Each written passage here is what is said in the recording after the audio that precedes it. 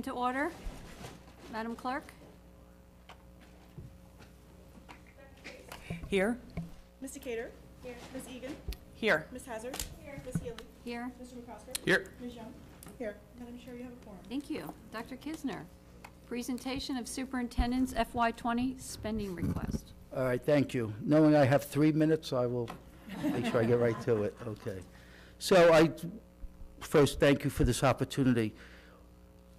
Officially or formally, I worked about two months on the budget, but truthfully, the day I started is when I worked on the budget. As I walked around the schools, talked to people, visited classrooms, um, had discussions with different stakeholders throughout the community, um, formal discussions at different advisory meetings, um, and also, just so you know how, at least I did it, which is probably not greatly different than how it was done in the past, is that there were representatives from the elementary, middle, and high school principals. They all met, they submitted their recommendation, we met with the representatives.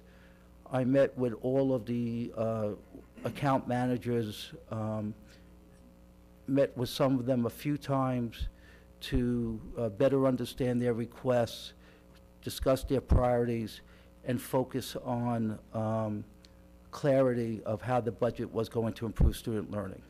And you're going to see um, a little later the, the sequence that I took to get to um, the budget that you're going to be presented.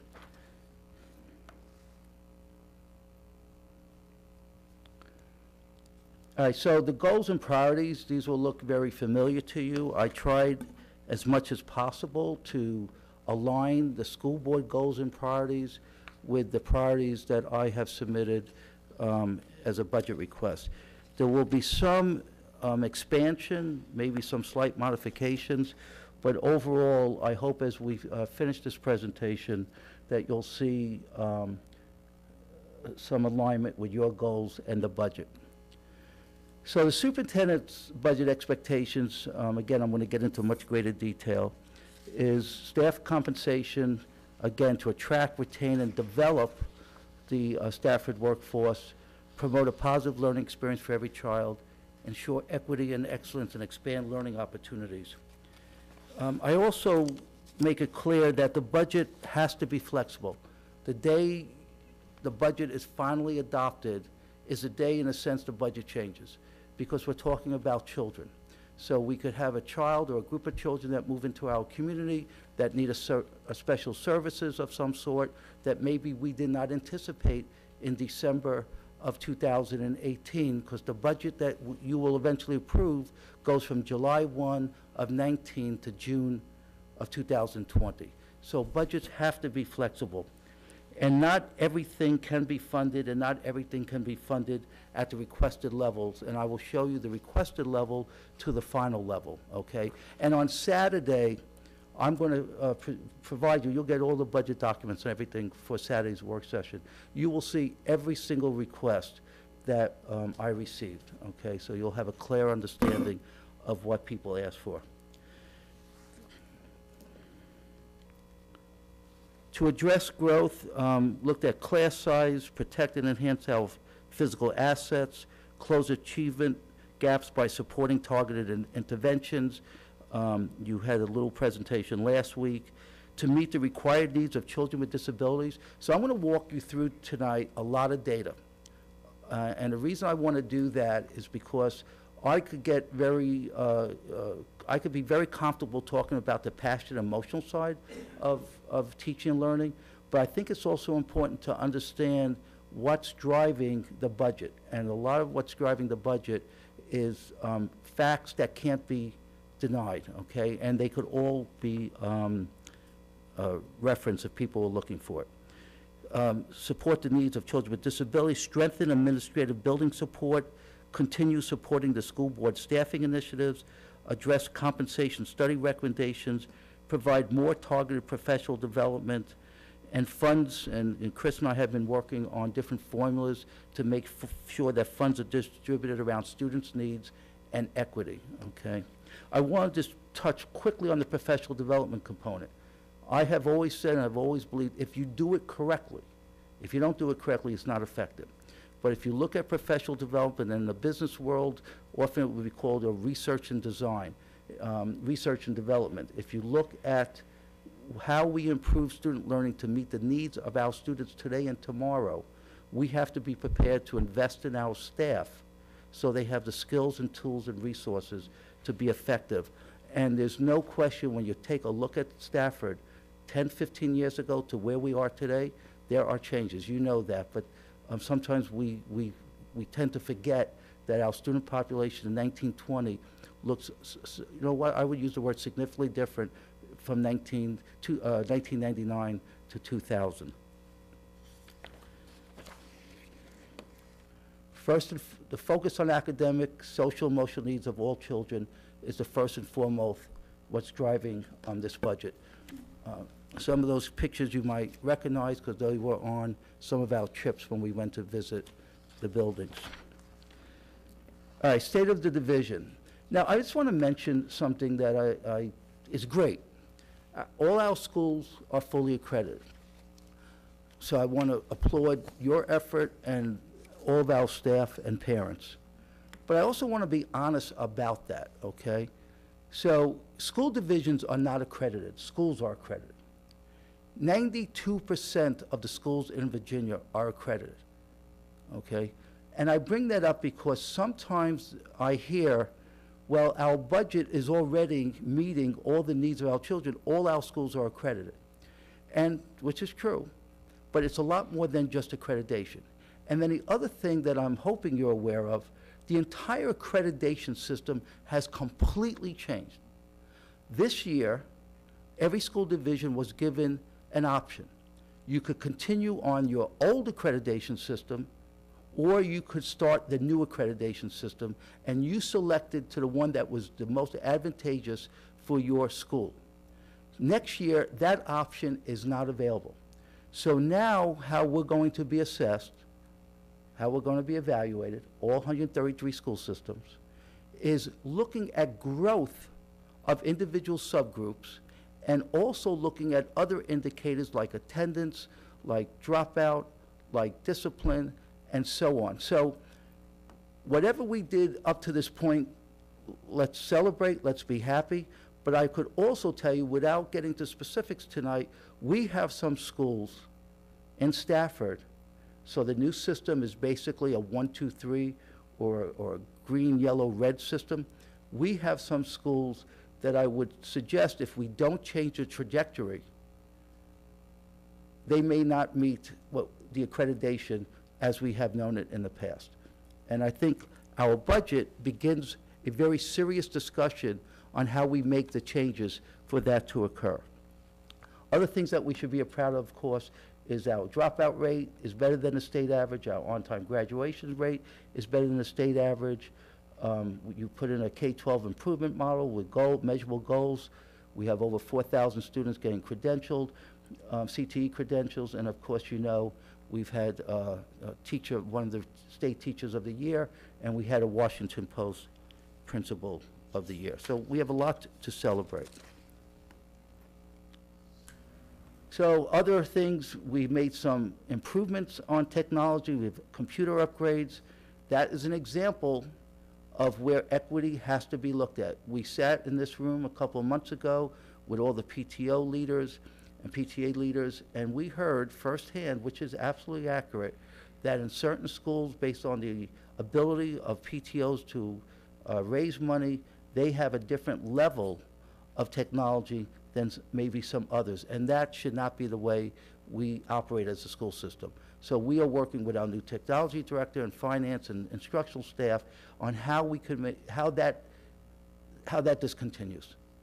How technology is based on the learning needs of children, not the ability to raise funds.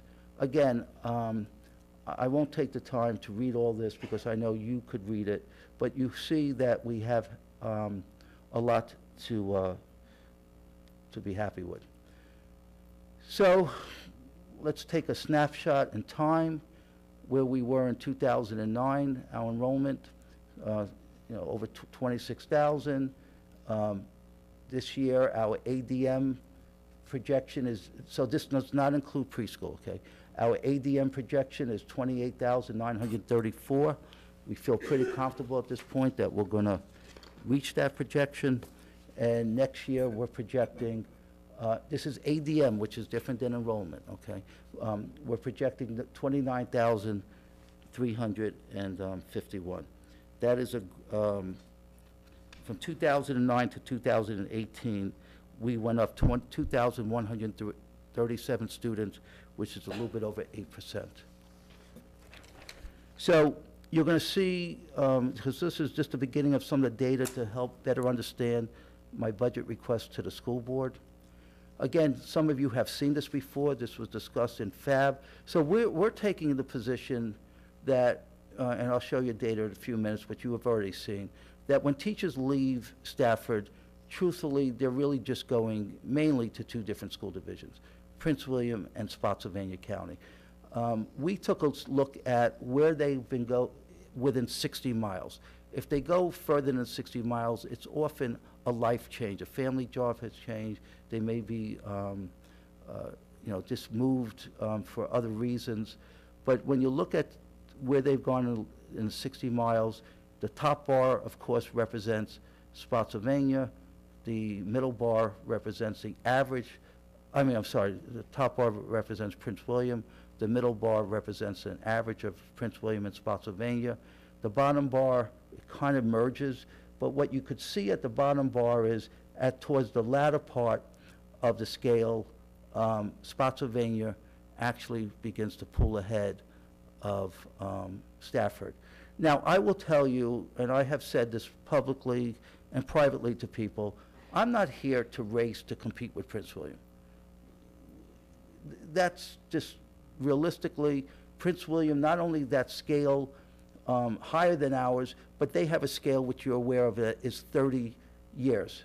We are at 37, 38 years to get to the top. In Prince William, we get to 30. But I think, I feel strongly that we want to acknowledge and recognize the profession and the hard work of a lot of our teachers. That's why they deserve um, a- a better raises um, than what I think um, we've been able to do in the past. So where have our teachers gone? Um, Again, you see the 17, 18, the 16, 17 data, and that just again highlights that the two school systems, I chose to leave Fairfax out of it, but if we put Fairfax in it, you would also see that they would be higher than Stafford. But you get a, sense of where they're going within 60 miles of Stafford County. And again, this is another representation of that same piece data. So I also wanted to take a look at, because we have a lot of discussions about student-to-teacher ratios. This information you could get off the Department of Ed website. The only thing I want to caution you, the dark line is K seventh grade. The state just basically has elementary and secondary. So if you take a look at our um, teacher-to-student ratio, and this includes counselors, librarians, art, music. It's not just the classroom teacher. I'm not going to overly interpret this, except to tell you that um, if you look at the K seventh grade, and I think if we really digged into it, it would probably be driven more by sixth and seventh grade, that, um, you know, our staff-to-student ratio um, is, is higher than our neighboring school divisions.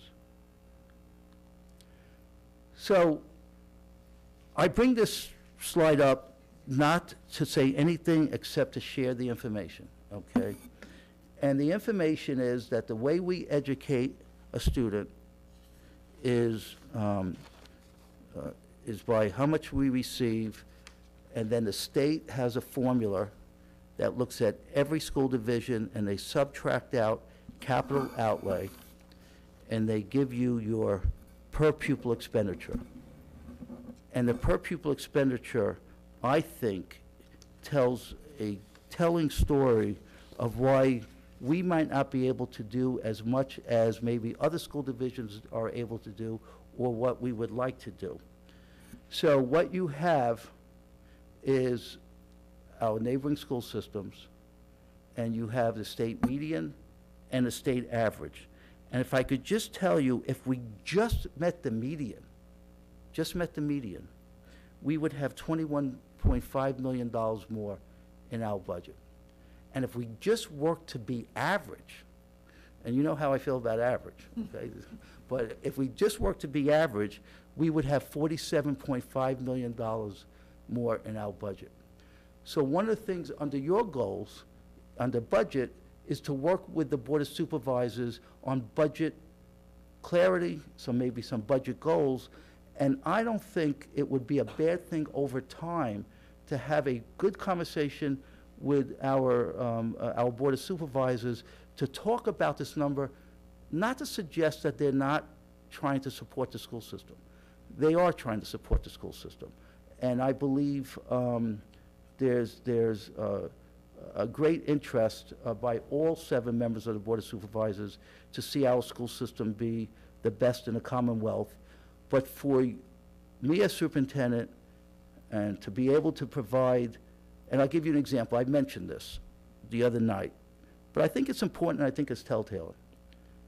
Our middle school, I just want to say, because I think, you know, we talk about salaries, but there's also something about the quality of your working condition.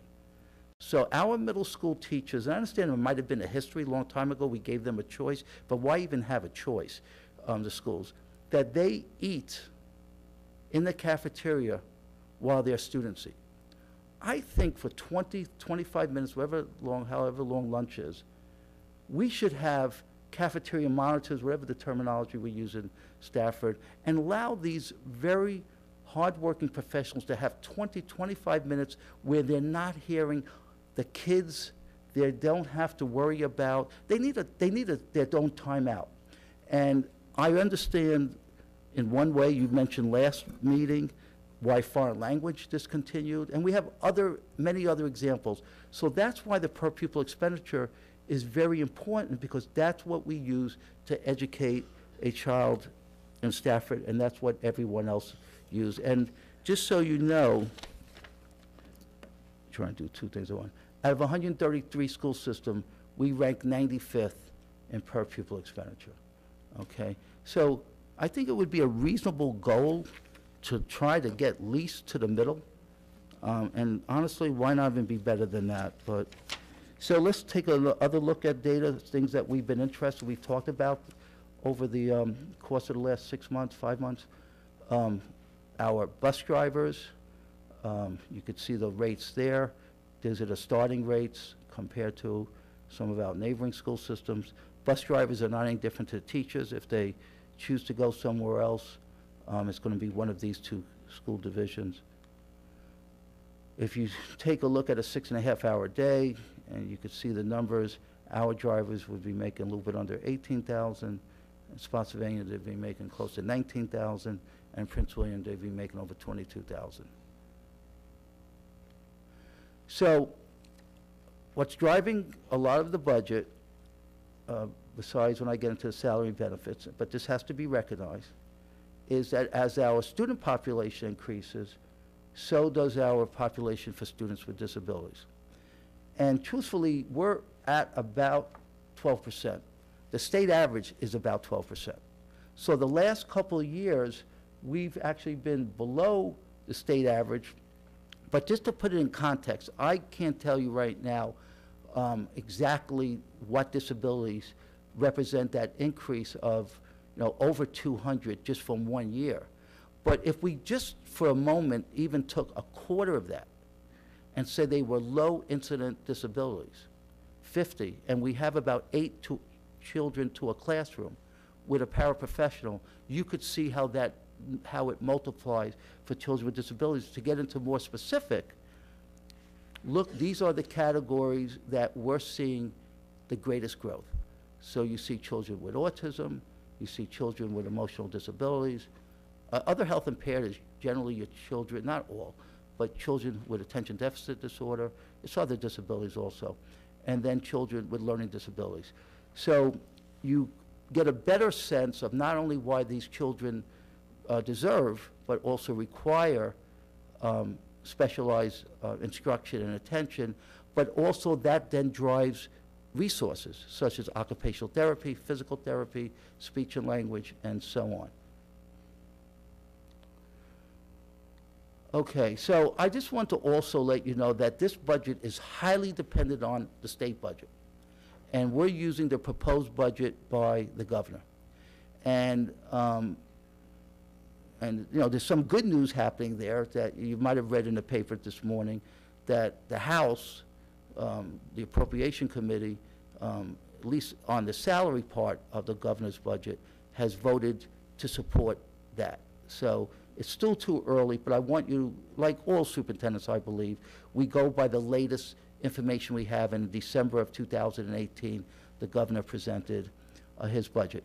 But what you could see again, um, you know, the, this is all instructional positions. Um, In Virginia, you know, how's increased. So um, from FY 2001 to FY uh, 2019, um, you you can see the growth, the compound annual rate of 2.6 versus 3.0 growth. Um, You can see state cuts. Um, We're really not at the level that we were in 2009 um, in, uh, uh, in Virginia for um, supporting education. You can see the average instructional pay in Virginia has grown less than the rate of inflation. Um, If instructional pay has grown at the rate of the CPI, we would have um, a $62,000 going towards instruction. Now, state aid is very important to us because that's where we get majority of our funding, okay? So that's why it has um, very important context. Most locality revenue sources have not kept up with inflation and population growth despite median real estate property taxes. So again, the median real estate, real property tax rates increased 17 cents for cities and 12 cents for counties since FY 2009. So the counties are trying as much as possible to make up the difference of where the state has um, fallen behind. And then you could see again the slower growth in K-12 funding, um, the localities for school construction, that, um, again, is a, you know, pretty much, uh, the state basically puts no money in for school construction. Now, it's important because sometimes people um, get confused when they see the governor's budget of standards of quality. It's the minimum standards of quality. And somewhere between, it's about 60 to 70 percent that you will see school divisions, and Chris is, and his team is, are trying to get the exact number, and maybe he already has it in Stafford, but I will assure you it'll fall somewhere between 60 and 70 percent of positions um, uh, in our county, and our school division, are standards of quality positions, positions that you are required to have. They're minimum. Okay, so when the budget is presented by the governor, and he says that I'm adding two percent more for teacher raises, you understand, I know you understand, sometimes the public doesn't uh, truly grasp this idea. He is speaking about the standard of quality positions. Uh, But all school divisions, when they give raises, they give it to all staff. They don't just say those that are standard of quality and those are not. Our composite index is about .34. So another way to look at it, for every dollar required to spend on a SOQ position or program, we get about 66 cents from the state, okay? So it's not even um, that it's all funded by um, the state. We get a portion of it. Now, Stafford, every school division, every community exceeds the local required effort, because again, it's the um, minimum standards of quality. And I will, I do want to point out that Stafford is at that exceeding 100% of the required local effort. Um, They're with 46 other school systems, and then again, you could see um, how it breaks down. I would just speculate, because we have a low composite index, that um, it's somewhat, um, I don't want to use the word easier, but you'll see that those maybe have lower composite index. Um, You could exceed the local required effort um, uh, at a higher level just based on what you're required to um, fund your schools. However, that number doesn't help us educate a child. What helps educate a child is our per pupil expenditure, okay? Um, But I do want to recognize and thank the county because we are at, um, we are one of those 46 school systems that exceeded by 46%. So what was in the governor's budget? As I already mentioned, 87 million for salary increases. So how it works this year, if, if that doesn't get approved, uh, you, last year you gave about 2.5%. We would have to really average it out. I suspect it will come out higher than 2.5% because you gave some staff higher than that. If, if this 2 point, if this additional 2% is not um, approved, but just for the simplicity of this conversation, if it was just 2.5%, we would only be required to give a 0.5% to draw the state share. If the 2% additional money, then we would have to give at minimum 2.5% to get the 5%. Um, Literacy fund, $80 million for school construction loans, oh, please, that's one school, um, but it's a start. So one of the other things that you'll see in my budget, I really believe this is an issue that is about safety. And let me just be honest with you, we are probably one of the strongest school systems as it goes to security as a physical plant. But I could tell you, my four months here, and this is not unique to Stafford, the safety issues we've been dealing with are our children in the buildings. It's not people coming into the buildings. It's children making threats. It's children, you heard many parents speak up about issues of bullying. It's, it's, safety is knowing that you come to a school and you are free of threat and distraction, and you're not worried about being harmed by others. And what our school system needs to really embrace is having more staff that could work with the social emotional needs of children. So even before, maybe the governor was following me, even before the governor was working towards improving the ratio right now at the elementary level, it's one per 500.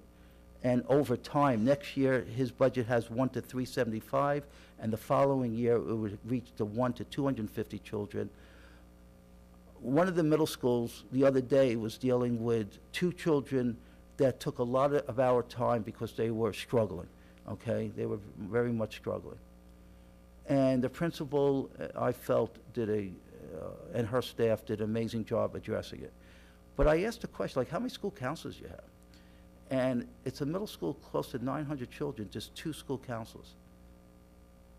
That, that's, that, um, that was new to me. I, I just will tell you. Um, so we are, um, uh, in the budget, you're going to see uh, an investment in I, the mental health, the emotional needs of our children, and I really believe that falls in, into a, a, a safety um, component.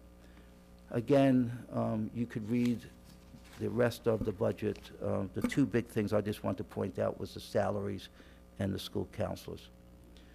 So what's kind of somewhat interesting, a little different than maybe what I just said earlier, the history in Stafford is a little different on how the state versus the local budget. Actually, in Stafford, the state budget has been a incremental increase of the budget, and the local budget has gone in the opposite direction. Um, So um, you could see the portion of the school budget from local funds. 2011, it was at 45.2%. You could follow the line, and in 2019, it's 41.7%. Um, So um, I'm just providing the facts, okay? I'm not judging. I think people could make their own um, conclusions, but as I sp- just spent 10 minutes talking about the state not contributing, I want to at least recognize that in our community, the state has actually, it's gone up and the locality has gone down, okay? So the total operating budgets since 2011, um, again, you could see uh, the increase. This is the budget that you after the Board of Supervisors has given you your final number. And you could see um, the operating fund expenditures. This is obviously nothing tied with capital. Okay, so let's talk about what I'm presenting.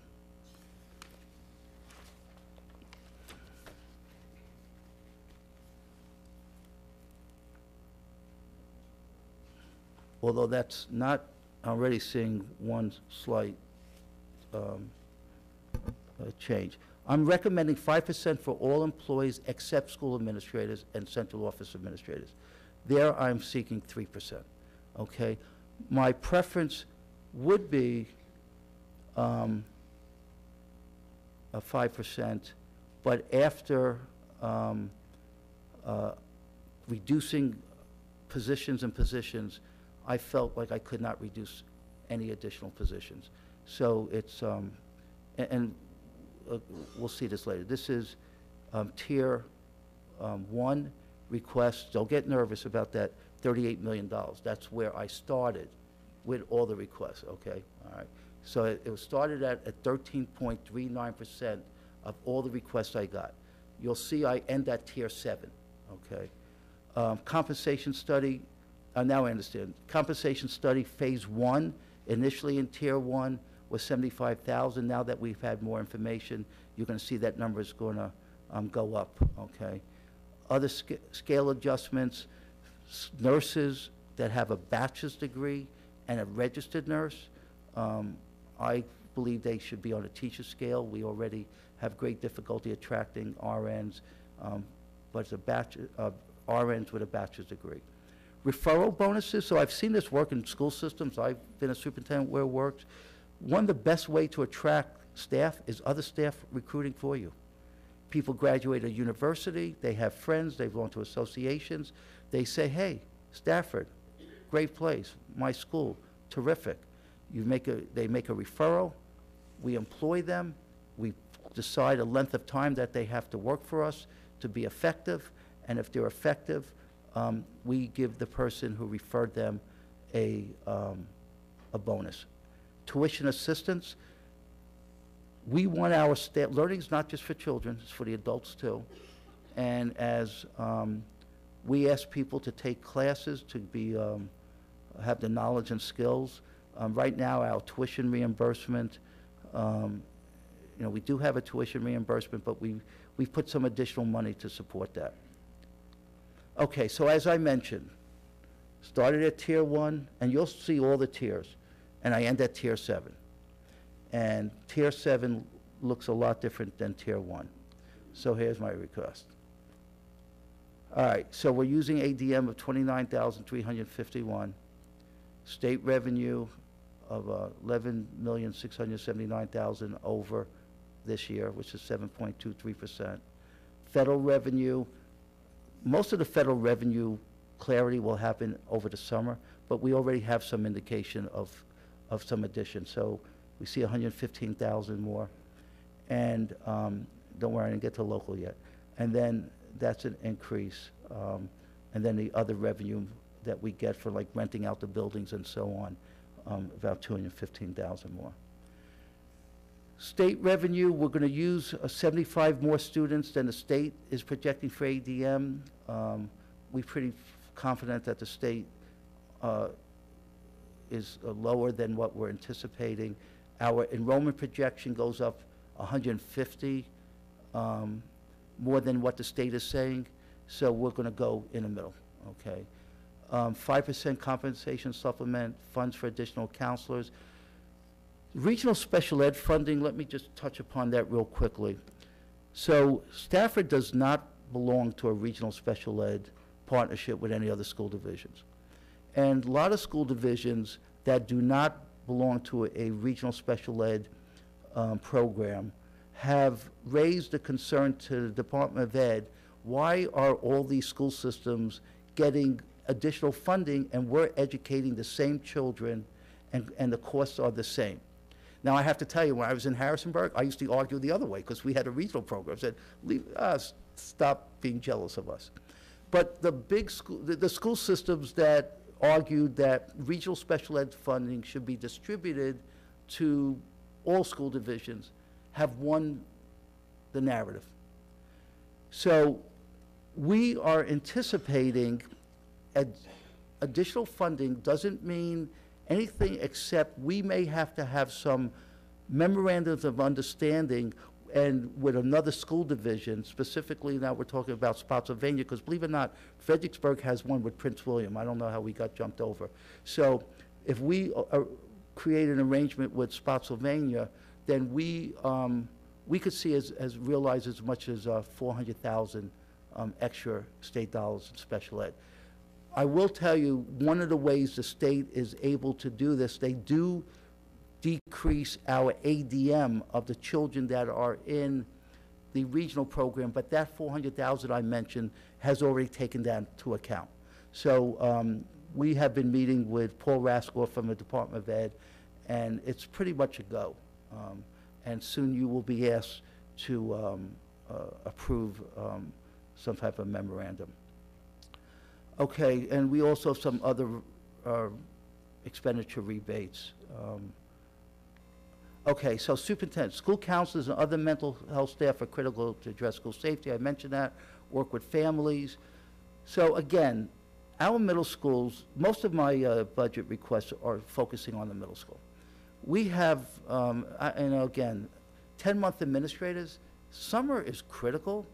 You do professional development, you do recruiting, you do curriculum work, and we have um, seven of our eight middle schools have a 10-month, or maybe 10-month, 10-day administrator. Uh, I really believe they should be 12 months, and truthfully, what I've noticed in my short time here, a lot of those people wait for the next job. You know, so um, I'm hoping we can make all building administrators 12 months. We have them at the elementary school, we have them at the high school. Some reason we just don't have all of them at the elementary school. So, what's that? At the middle school, yeah. So additional staff for new middle school model, let me, let me just, we'll have more time to discuss that, but we have done, and we appreciate the feedback you gave us, and, and we've taken it seriously, and we've done some preliminary research. I just wanted to know, we looked at eight school divisions that we would all consider high-quality school divisions. No one has a double block of English and double block of math. Many of them have the model that we have presented to you. And what's important, as I shared, and they shared the data, and I say this great, with great respect, there's two groups of children I feel are being adversely impacted in our current model. The child that's very advanced and the child that's struggling. And I recognize it's new, we all recognize it's new, um, we'll talk more about it, but I just wanted to mention that learning gaps are not going to change by just hoping and wishing. We have to do something different, and the conversation that has been taking place for the last year and mainly the last couple of months, I think is a very good start of acknowledging that within our student population, there are a group of children not doing as well as they could have or should have, and there's another group of students that we're holding back by not differentiating at the level that we should. That's my only commentary on that for now. Additional staff to meet the needs of children with disabilities, you'll see that. Additional school buses. So I, one of the things that I would like to maybe entertain a conversation with a board of supervisors, maybe do more research on this. There's buses and some other, um, one of the things that I did not put in the budget that we absolutely need is a whole new telephone system. Uh, There's not a week that doesn't go by that some school system is emailing us, the phones are down. Our phone system is so, um, for those who remember uh, Andy and Mayberry with Aunt Bee, I mean, we might as well, we, we kind of have a system like that. But we don't, it's over $2 million to upgrade all our phones. And we have two new schools that are going through the infrastructure thing, Moncure and North Star. And, you know, we should begin this conversation early so we have alignment. But buses and things like that, should they come out of the operating budget or should they be come out of the capital budget? And that's a question that I think we should ask because we have 11 buses, 10 buses that you bought, that you had addition this year, and we're adding another one. That's over a million dollars. okay? And we factor in about sixty, sixty-five thousand dollars per staff. That's sixteen staff members that we believe we have, but buses are also critically important. So I think it's a conversation to at least have, maybe we should do some more exploring on how school divisions do it, but this is truthfully the first place that I've worked where buses are part of the operating budget, not part of the capital um, discussion. Not saying what you're doing is wrong, but I'm saying it should at least be part of the conversation as we move forward with the Board of Supervisors. All right, compensation, um, eh, I'm sorry, Chris, you did it right. I just, you know, I just ha- had my ADHD moment. I jumped up too quickly. Five percent for all teachers uh, and support staff, three percent for administrators. Um, Compensation study, one, I mentioned the teacher, the- the referral program is directed toward teachers and bus drivers. Um, Is that me? No, somebody else, okay. Uh, Expanded tuition assistance. Right now, we're not anticipating any major um, changes to our health and dental. There's a meeting in February.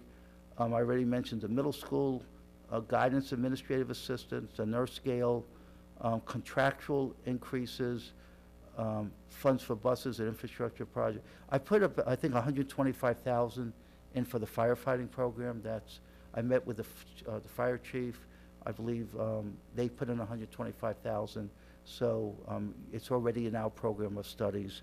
So if that, uh, if that is supported, um, we put our share in. All right, so now mention the positions. So remember, I showed you the trend of special ed over time. Um, These, so the only positions that I moved forward, so you know, in that category, there was a lot more requested, are ones that are mandated, the ones that are required, okay? The diagnosticians you recognize as, as a, is a, um, a program that you have supported. Um, So we put the five FTs in that. And again, you could read, um, you could read the rest of it, but the special ed, the diagnosticians are not required, but that's been a staffing um, goal for the school board, and to finish that, it would take five FTEs.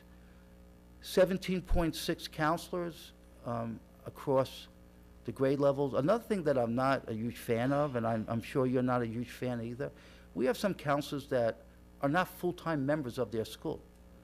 And it's relationship building. You're building relationships with the parents, your relationship with the teachers, relationship with the children, and they're among different schools. So um, the 17.6 uh, gets us to a better place than where we are today for our 30-plus schools.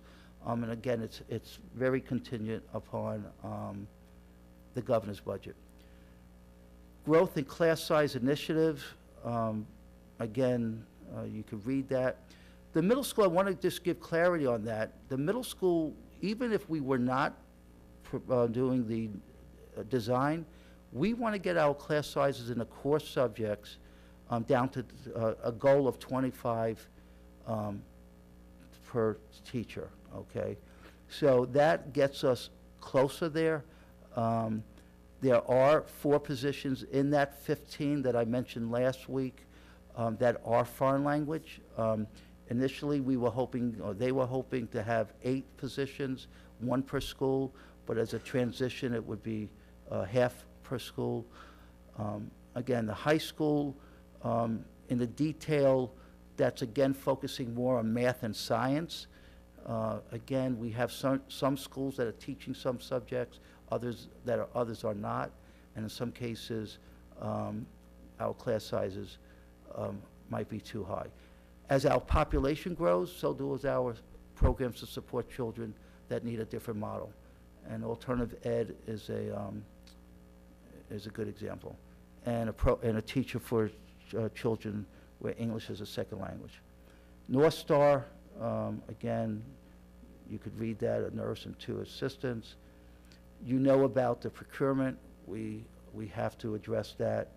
Um, So I want to just, uh, um, we're working on some of the things now. We've also, as openings have come in the central office, instead of filling the opening automatically based on where the person left, I've been shifting some people around, okay, to help meet some of our needs. We've had people the last few months who have left us, and, and not automatically, um, I know Sheree, she's very happy I've done. I, I took one of her staff members recently, so, um, but we have other priorities, okay? And, and so we're, we're, we're moving people around as we see it. So, one of the most exciting programs, so I presented, um, uh, to the Business Advisory Council, and just so you know, we're growing that Business Advisory Council. We're actually having our next meeting in March at, at um, North Stafford High School, and there's going to be new members, and we're really talking about, we, we have, we have this in place now, but we want to go deeper and really better understand what we have now. But children, high school students really working and learning and mentoring out in the community. Um, This is also in the um, profile of the graduate, a uh, priority. So there's a, one position for um, that ready, uh, workplace readiness.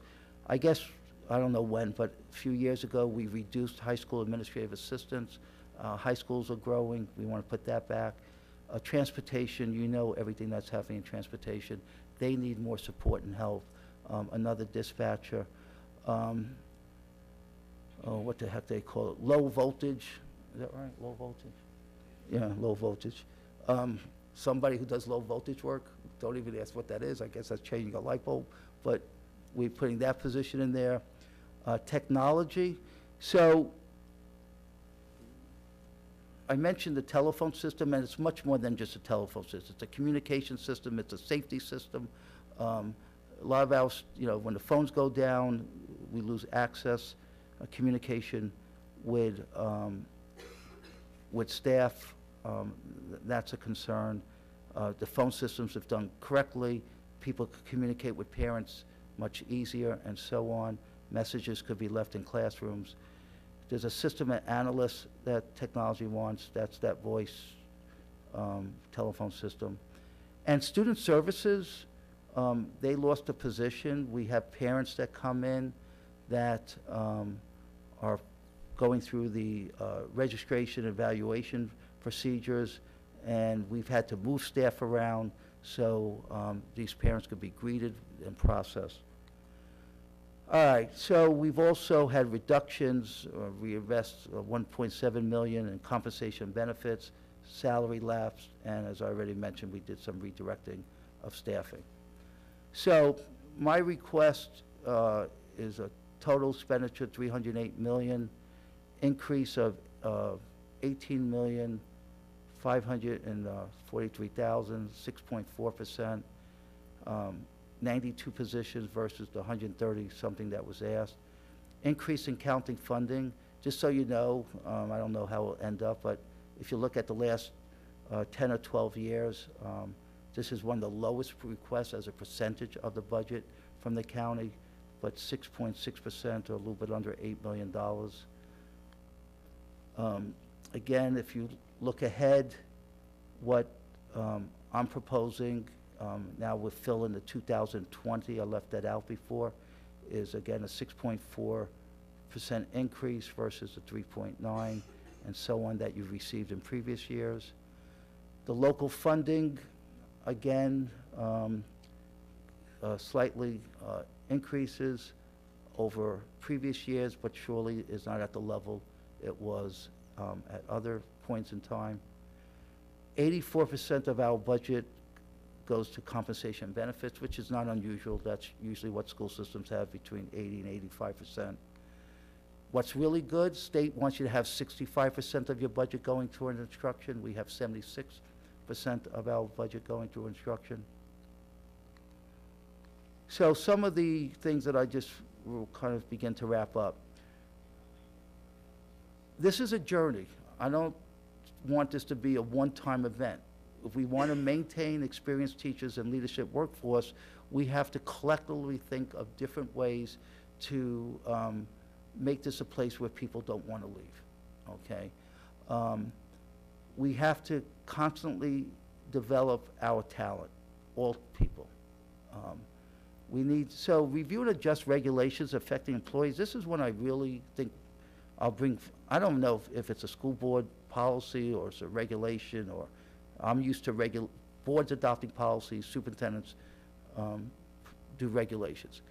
But we have something which is counterintuitive to me. We know we have a difficulty attracting teachers. And we know, as I already shared with you, especially if you go north of us, we're the lowest paid school system north of us. But we cap 20 years of experience. So if you're from, if you're from Fairfax, Arlington, Prince William, and you want to work in Stafford, you're already making more than you would make here at the same step. But we cap you at 20 years. So you would not only make less just based on the number of steps, but if you were 24, 26, 21-year experienced teacher, we would put you on 20 years in Stafford. So I don't understand why we do that. We want teachers, and we want experienced teachers. We have a cap. I could maybe understand if we were the highest paid school system, and somebody wants to come for their last three years to get the VRS benefit, maybe then it would make sense. But it surely doesn't make sense right now. And another example that I will share with you, which was the number one thing that someone approached me the day I got here. And then I asked Lisa to do research, and um, is our hybrid model. Our hybrid model as it relates to sick days. We had, at one time, you only could carry over 12, now you could carry over 24. And I was trying to figure out, and I understand the rationale uh, if it relates to long-term disability, but most people who need to take sick days, especially in an organization where most of our employees are mothers, women, you're taking time off because you have a sick child, you might be sick, whatever. Now people are taking care of, of an older generation. So we have 24 sick days, that's all you could carry over. And we researched a lot of school systems. Most don't ha- have no cap, and those that do have caps have it higher than 24. So I, I would like to least, you know, Chris has done a nice job explaining to me, but I'd like us to try to remove any barriers that are preventing people um, to come and make people feel once they get here. And the other concern I have is if you lose it at 24, and I'm not saying anybody's doing this, but I could some, I could think of people thinking about it. If I'm gonna lose it, then, then why don't I just use it, okay? Um, But I'm not saying anybody's doing that, but I can understand. New state and federal mandates. So, again, if, I hopefully, uh, last year you had a presentation on the new state accountability and federal accountability system, and if not, we absolutely need to do that. It's completely different, completely different. Two laws went into effect July 1 of 2018, so we obviously have to meet that.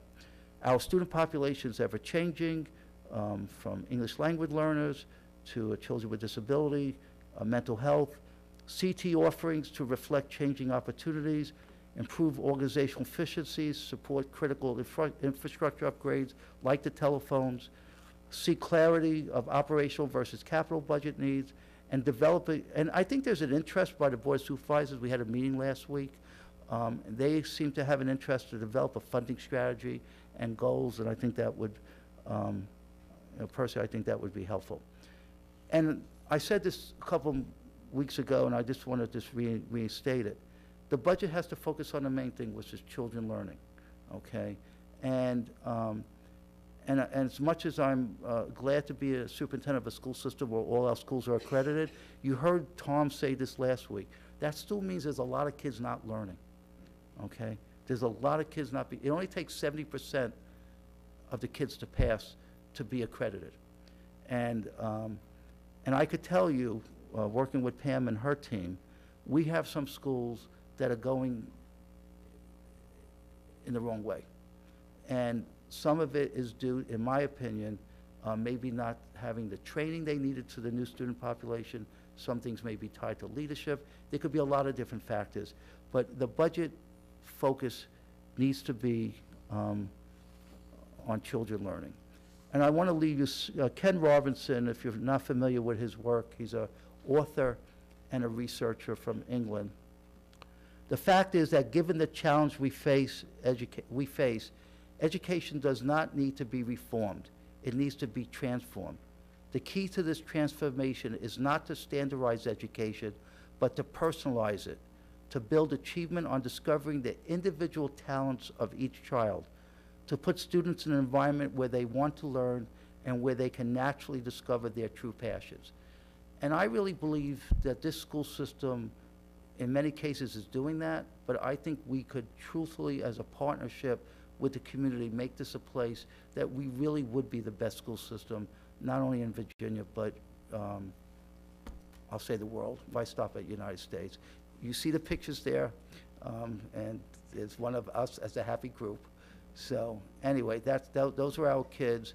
We, we, we, I have to tell you, I, I can't thank you enough. I'm still visiting buildings almost every day, and um, every day I get more excited knowing not only what I see our teachers and students doing, but also knowing the opportunities that are out there. So Saturday, um, we will have your budget books. I have the PowerPoint now. I didn't want to give it to you because you might have just gone, if you're like me, I would just go to the last page and, and skip everything else. So um,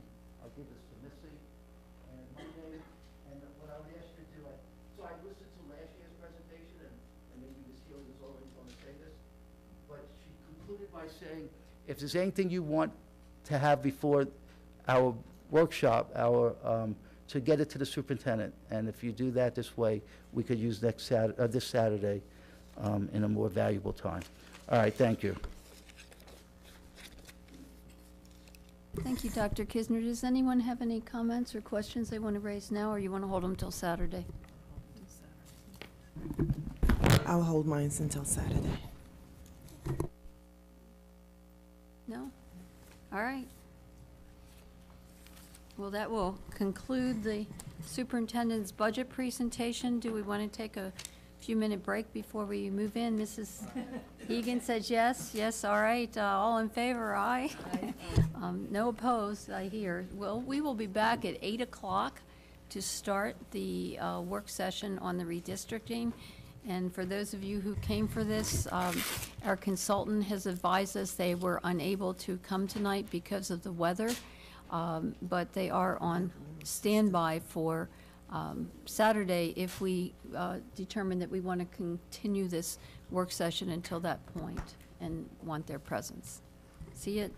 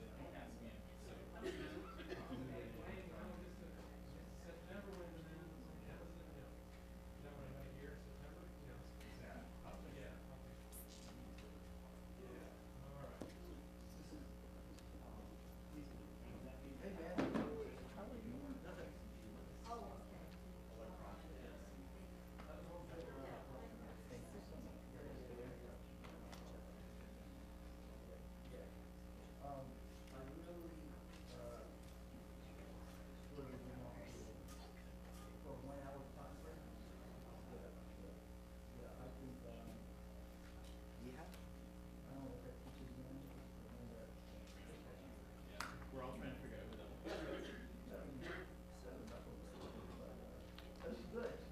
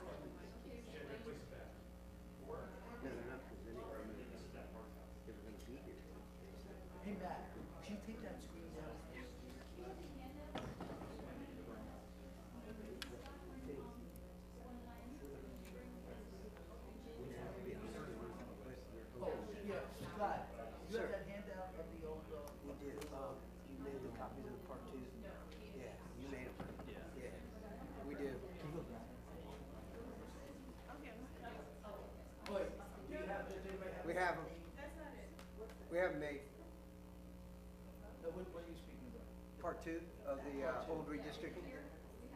We do, we do. Yes, sir. We call the work session to order? We don't need a roll call, right, or do we? No, well, the gang's all here. All right, well, here we are. The consultant is on the phone, correct? Ms.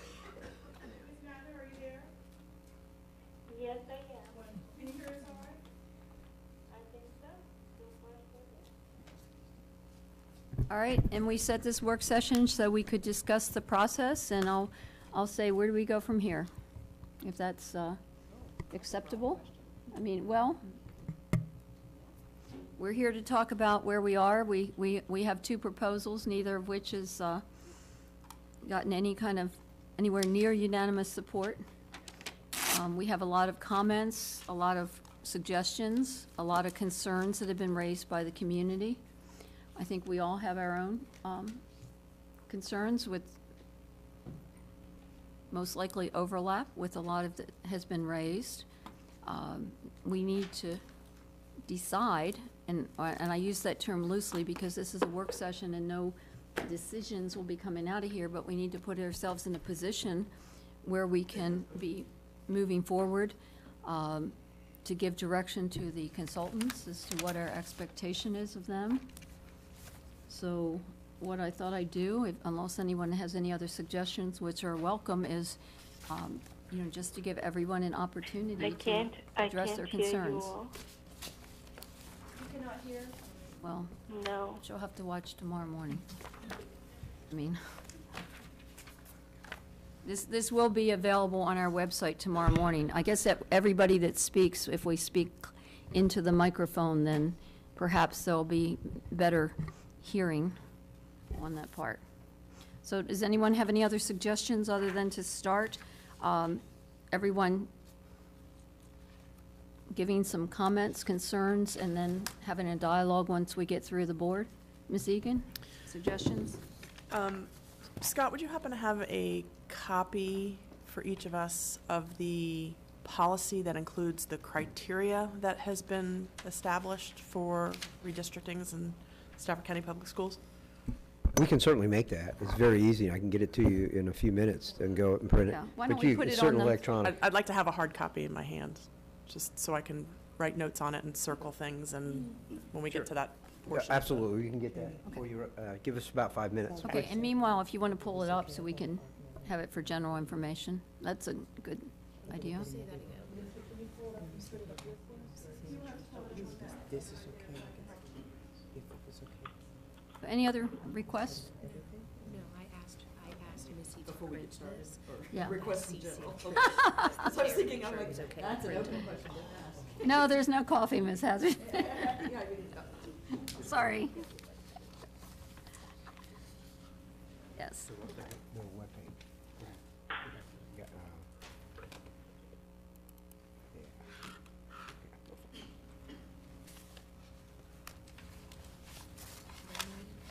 Yeah, I did.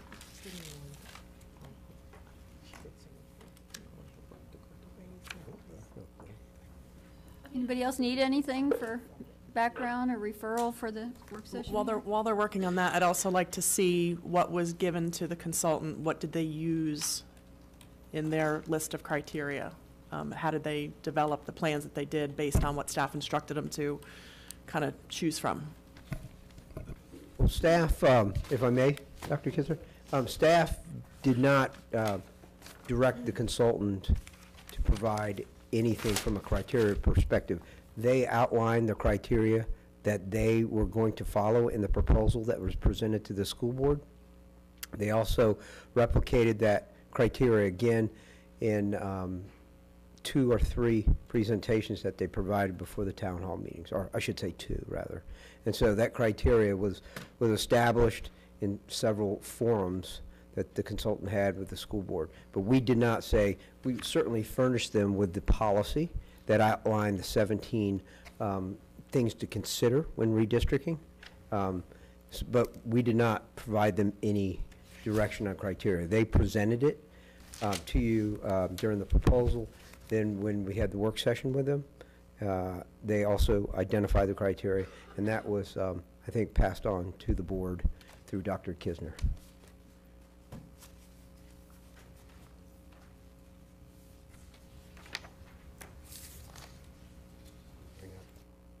Oh, you can't get into the policies?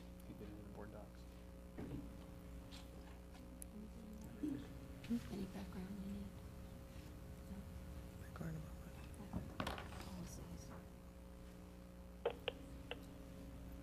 We can't get into board docs for some reason. Can uh, the school board, Send us an email that you asked for printed copy. Yeah, policy fourteen. we'll get you a hard copy. Just come. What is this? It's not sufficient.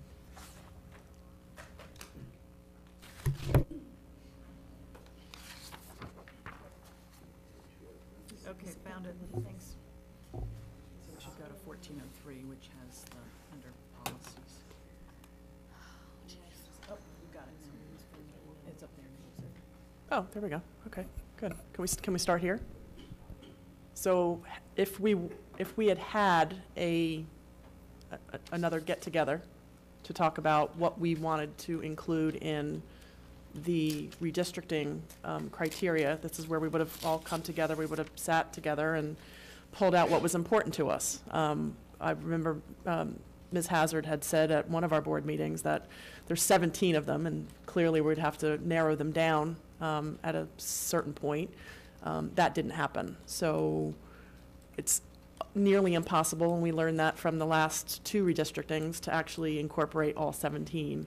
Um, But I think it's important, based on all of the feedback that we've gotten from our constituents, and whatever belief you had, you know, out of the gate already, um, to go back and look at this and pull out maybe one or two, three items maybe, and kind of use those to have a little group think and narrow it down a little, maybe even a little bit further, and then ask the, the consultant to go back and take what that, that criteria is and maybe do maybe three more um, options. Anybody? Okay, so for instance, my, my two things are um, trying to keep the communities together as much as possible, and bus distances and, and bus times. Those are the probably the two most important things for me. And if I had to put a third one in there, it would probably be the the F and R um, redistribution um, to make it a little bit more even. Socioeconomic characteristics of school population. I guess. I'm just, just looking for what's on there Yeah, I guess that's what's what it's under. Yeah. So. So, so what would be the intent of that? I mean, just to try to flesh these out, because if we are going to send them back, I think we're going to have to give some, you know, fairly specific direction to the consultants if we're going to get something that, you know, Yeah, I'm meet- just meet going what we're backwards looking to, for. to, when, when I, when I- I supported the idea of having a consultant do this, I, I had a very clear, you know, process in my head on how it was going to play out, of which none occurred. So what I'm trying to do is kind of go back a couple of steps and then maybe start again with some of the stuff that we, the seven of us, through input from our constituents, want to see in the redistricting plans. That's it. So, Or- I think Dr. Chase was first, then we'll go to you. One, two, three. Yeah, so I guess the question is, can we um, give the consultants sort of instructions to incorporate this with where they are right now, and then run their model again to put that in place? Or in addition to. or in addition to? Does that, so, I mean, I, I had suggested that uh, we've had staff give us program capacities once you've adjusted for the fact that some schools are now substan, are now class size reduction schools and some are not. Right. And that I would like them to be able to take that into consideration. But I know it's difficult because you move people and suddenly it changes again. So, yeah. Right. Okay. Ms. Yeung? I've always been concerned about the number, the high numbers of free and reduced lunch in some schools, and I'm not sure how we are planning on um, addressing that. That's one. Um, I also want to make sure that we're looking at all schools, not one neighborhood or two neighborhoods. And when we talk about a neighborhood staying together, for example, when I'm looking up there, walking distance doesn't apply to some schools, but it applies to others. So say, for example, if we're going to vote on the criteria, does walking distance apply to a choir? It wouldn't, you know, because, so I'm, I'm, I'm thinking about something that we all could agree on, just to make sure that we're all thinking about all the schools. And then the number of times the school or the individuals in these schools have moved, that should also be taken into consideration. And um, keeping, I'll put it in quotes, neighborhoods together. If they could walk, they want to be able to walk to that school. Um, I, I just don't see how we are sending kids past one school to get to another school and moving them from one school that they're at right now, which is closer to them, to another school that is further away. I, I don't get that. That, that's been, you know, something that I'm stumbling on to understand how it was done. I agree with that, and that was one of the, that was one of the things that we were trying to avoid, right? By doing this, so. Right, and that is the fir, not that they're listed in priority order, but that is the Right. first thing on the list, proximity of schools to students' residents. And I believe that was one of the criteria that the consultants informed us that they used. That one I remember. Mhm. Okay. Although, I think we all would have an example or more than one example within our individual districts where that did not um, apply. Correct. Mr. Cater? So some of my, I know you guys got my email, um, so you, you've seen it, but I'll, I'll just kind of go over it a little bit.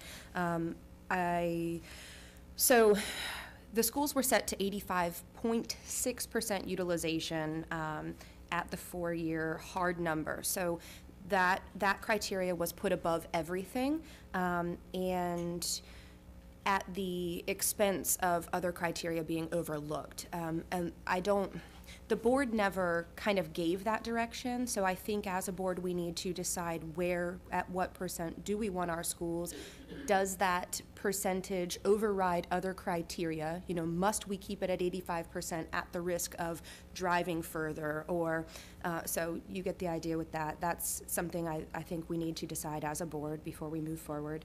Um, the feeder patterns are huge for me. I think taking a look at feeder patterns and, and, and the fact that they weren't even looked at, I don't want to harp on, on negative things, but looking at those feeder patterns can solve some of the other issues if, if we're taking those into account and kind of fixing those. Yes, I understand it's an elementary redistricting, but it can speak to some of the other criteria on here.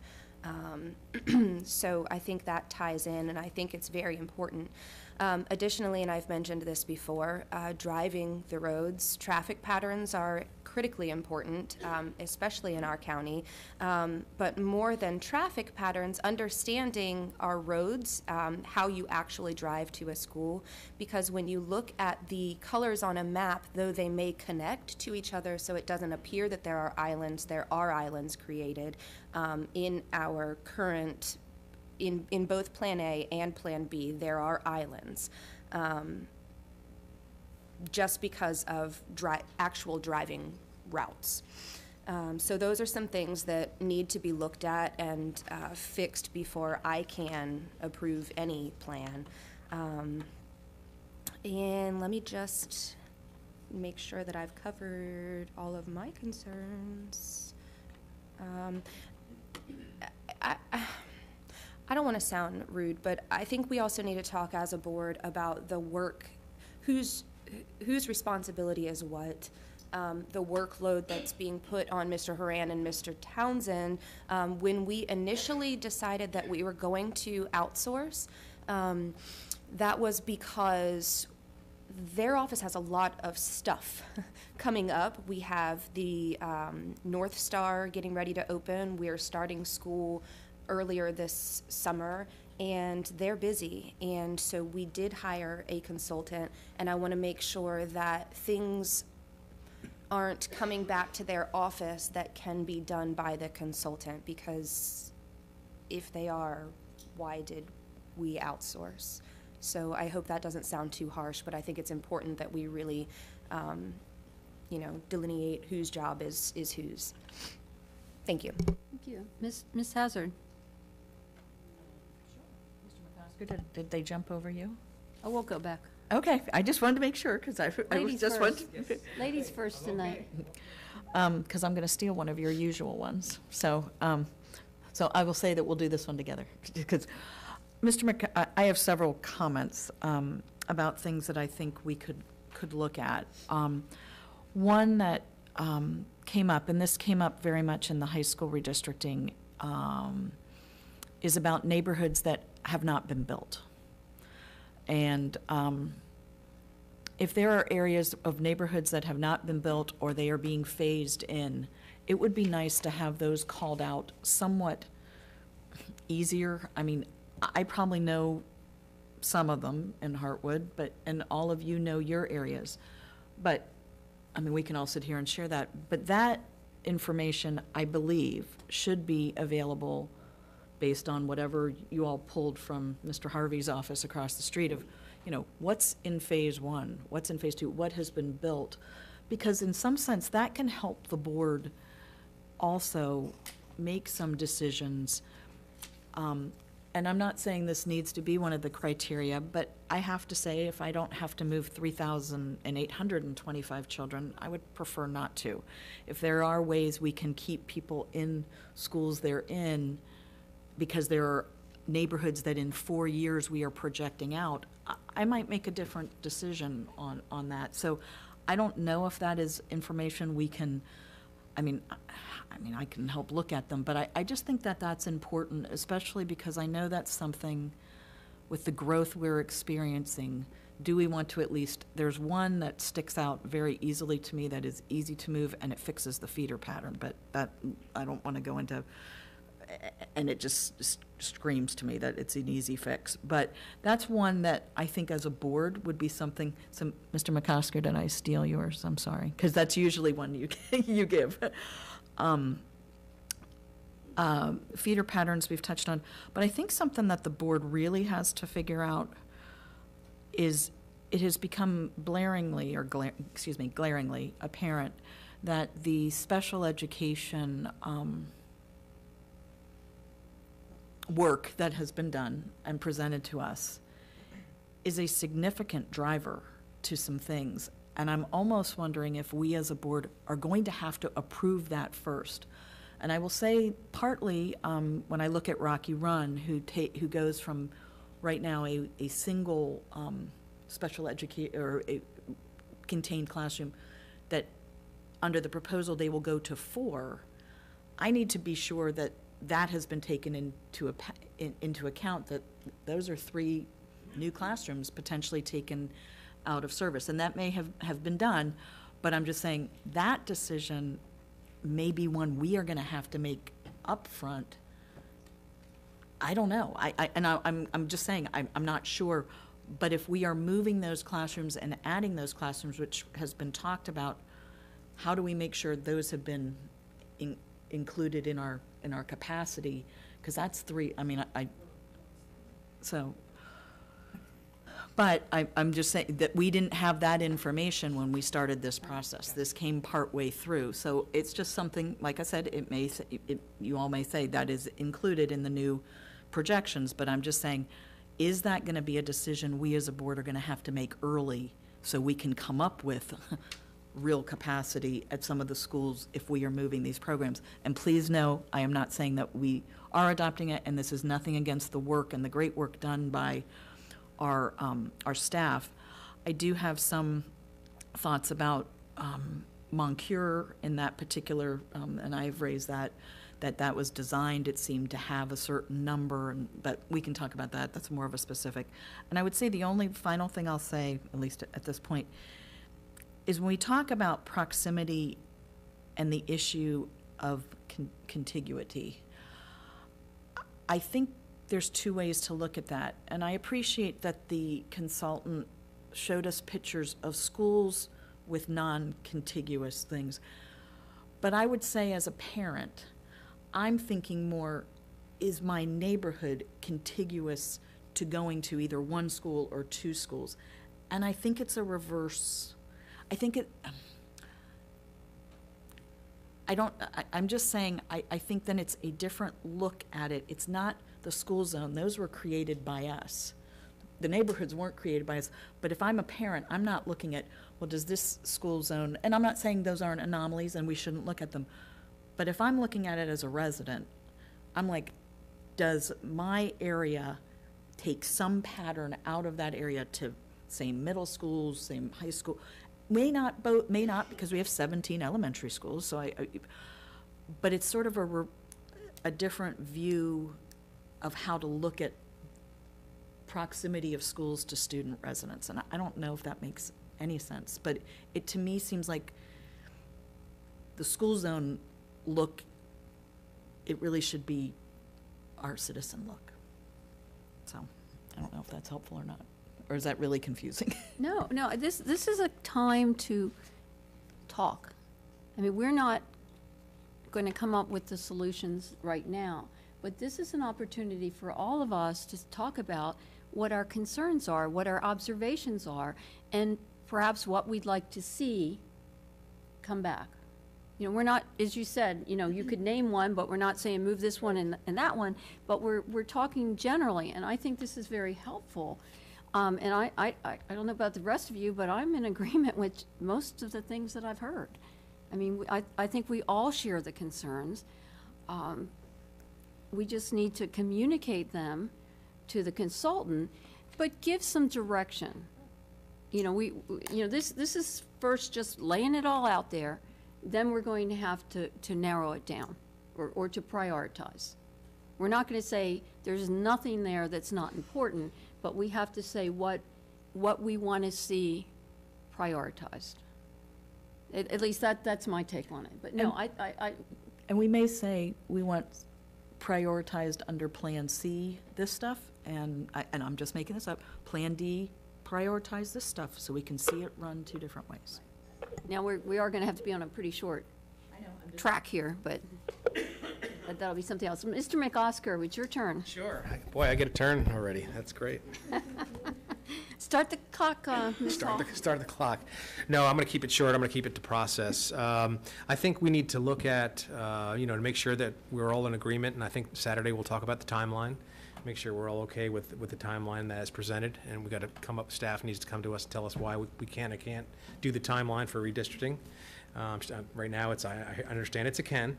Uh, The, number two is, um, I think we need to look at uh, schools that are opening above ninety percent initially. I think that's a tough one to uh, swallow um, when we're doing all this hard work and, and we see schools at 94, 90, and- and even 97 in some of the plans.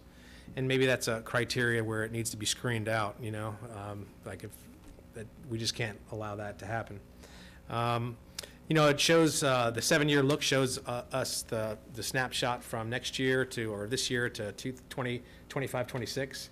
So we need to kind of make sure that that 85%, if we can keep it in there, that, that, that's kind of what I thought we, we we were looking for, so um, that's an issue. Some other um, issues that I, um, I want to talk about is, you know, I think uh, it- the board's already mentioned it, but we do need to look at bus rides. We do need to look at these long, these long uh, rides into, um, into the schools to make sure that we're not, um, you know, having a kid on there 90 minutes, uh, right? And taking, take into effect traffic. And because you know that, you know, I know in uh, Mr. Cater's district specifically, if that bus takes that left out of this building and goes down Route 1, there, it gets ugly real quick, right, during, in the morning. And there's a lot of other places like that. So we need to kind of take that into consideration.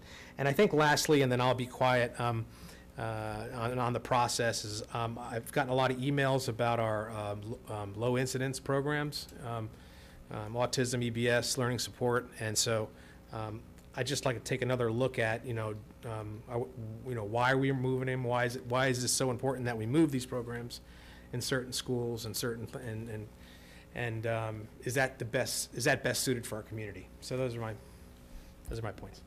And Dr. Chase, do you want to, I know you sent us an email, but, uh, you know, for the record, we can summarize or add what you want. Yeah, um, I, I shared with the school board, um, just a few concerns, and they were, um, more general concerns. So, for example, I can't support opening the new Moncure at ninety-seven percent capacity, um, fifty percent free and reduced lunch, um, because we're setting that school up to fail. And, and so I can't support that. Um, and uh, in looking at f- which schools become class size reduction and which ones already are class size reduction, we need to be taking that into consideration as well. Um, And it's tricky, and I understand that it's tricky. So those are sort of my, my two big things. May I? Sure. Um, While we're throwing out suggestions and, and comments, um, one of um, my parents, or Jamie's parent, um, spent a lot of time working on at least the, the northern half of um, Stafford and how, it- how it equates to what's going on here on the 610 corridor. And what I would like to do is, she's a researcher, um, doctoral candidate, this is what she does. Um, I would like the, the uh, consultant to at least look at her work, and if any of it makes sense, put it into an option, or incorporate it into an option, or, but she spent a lot of time with it, and I would like to respect that and have it looked at for, as- a consideration. Sure. Uh, I would just respond to that. I, I do believe it's been sent to Arcbridge already. Um, however, if it's, you know, if, if the board would like to let them know that it's more of a priority to have them look at certain things depending on, um, Yeah, so I, I guess they could analyze it, and when we meet with them, I guess, give us their synopsis of it. Well, I would ask the board to give direction to the contractor to consider every single comment that came in from the public, because a lot of those comments have suggestions. Now, it may relate to a particular area, but, you know, I don't want to give priority to one over another one, because I've seen a lot of suggestions that make sense. And, and the best suggestion that came to me, I wouldn't say the best, but certainly the most memorable was from someone in my district that lives across the street, literally across the street from the elementary school they're in now, and they were redistricted. So they're gonna have to get on the bus, go away from the school across the street. But, but the comment, the, um, the comment was, I hope common sense prevails. So, you know, that, that would be, you know, my hope here as well. You know, common sense, along with all our criteria. But let's not just move areas to get to a number. And, and that's, that, that's my biggest concern about the plan. You know, in the areas, and, and I'm focusing in, in my district, because that's what I'm certainly most familiar with, although I am reading every single email. And I can identify, particularly with the, you know, the, the long bus rides. I mean, why are we moving kids this way instead of the way the traffic goes? Um, But, but there are a number of instances that, that look to me that it was just reaching to get that percentage. You know, why move a, an area that is closer to three schools to the fourth farthest school, other than to get to that magic number? So that's, I think, I've heard that from, you know, the board, but that would be, you know, my request is that we certainly aim for a percentage, but that should not be the whole basis for a proposal, for, for having that there. But on this, the same token, I, I wouldn't want to start it at ninety percent either. Ninety-seven Um. But I, I had a, I had a discussion, I, I got permission, and I, I talked to Mr. Townsend this afternoon, because, um, someone in my district had, had raised a question, how did we get in both proposals? And the consultant responded, um, it said we were all copied on it, but I didn't get the response. I, I went to the, yeah, I know, I didn't get it either. Um, but I went to the, um, the, the site on the board docs that the public is welcome to go to as well, which has all the comments, all the emails that are coming into us, and anything from the consultant, you know, back is on there. And the, um, the, the uh, constituent had asked for the numbers for his particular subdivision. And when the numbers were given back, I said, hmm, you know, it didn't make sense to me. So I talked to Mr. Townsend, and we talked about a couple other ones, and, you know, I have some questions about the numbers, and he explained to me that these projections came from a, a different consultant that we hired last fall, and that overall, you know, they're fairly accurate. And I, I get that, I'm happy, you know, countywide, they're accurate. But if they're not accurate, if they're way off in a particular subdivision, or two subdivisions, or 10 subdivisions, or, you know, streets, that could be a problem, because we're looking four years out. And if they say we're going to increase by 50%, and we all know, you know, certain subdivisions are going to increase by maybe 200%, and some are going to increase by 10% or maybe decrease, and they show it going up 50, uh, I don't know. I'm, I'm, I'm not suggesting we're going to be able to solve that, but, but I think it's important that, that we be looking at that, because we know our schools, and we know our neighborhoods, Madam Chair. because we live there. Yes. Madam Chair, permission? Um, I have a couple of questions, but um, uh, comments also, and I don't know who could give me the answers, but, um, did we do anything with the feedback so far that we've gathered? Did we, I think we talked about putting them in some kind of a, and I, I don't know if the consultant could hear me? Um, did we do anything with them yet? Put them in some kind of a correlation, um, like questions? Um, did we analyze them yet? Like, what are we waiting for? Like, what? Is Yeah. this a question for me? Yes. Preeta, right? Preeti?